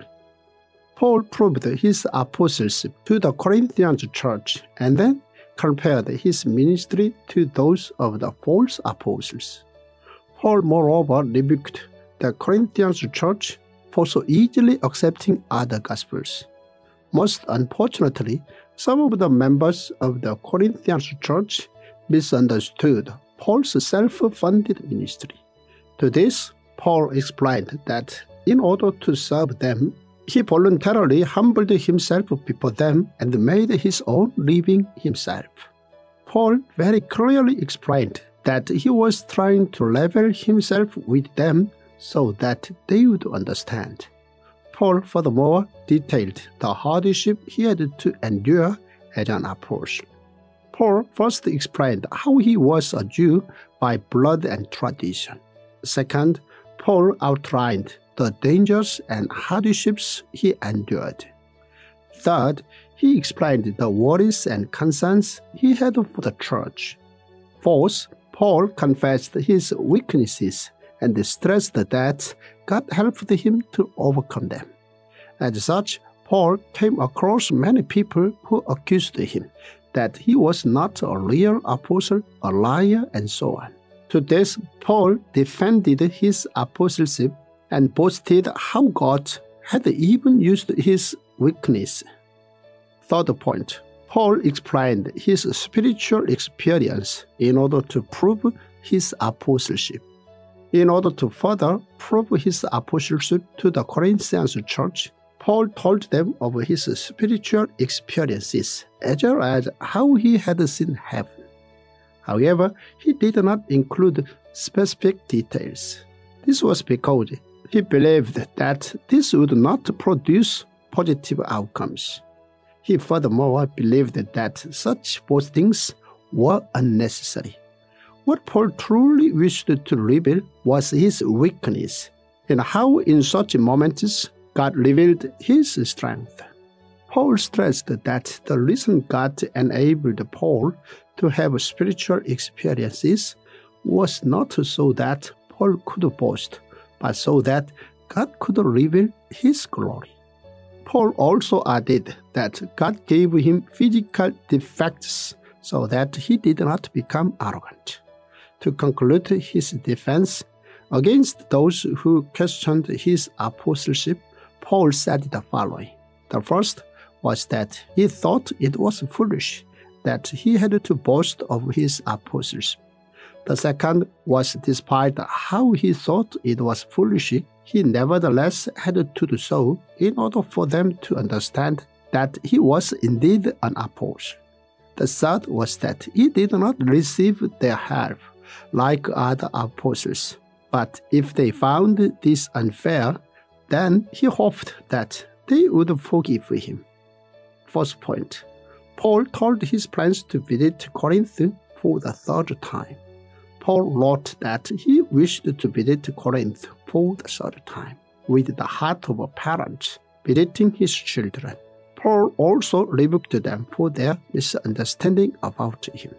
Paul wrote that he was going to find those who tried to frame him for smuggling financial aids and come clear about what he and his members were trying to do with the funds.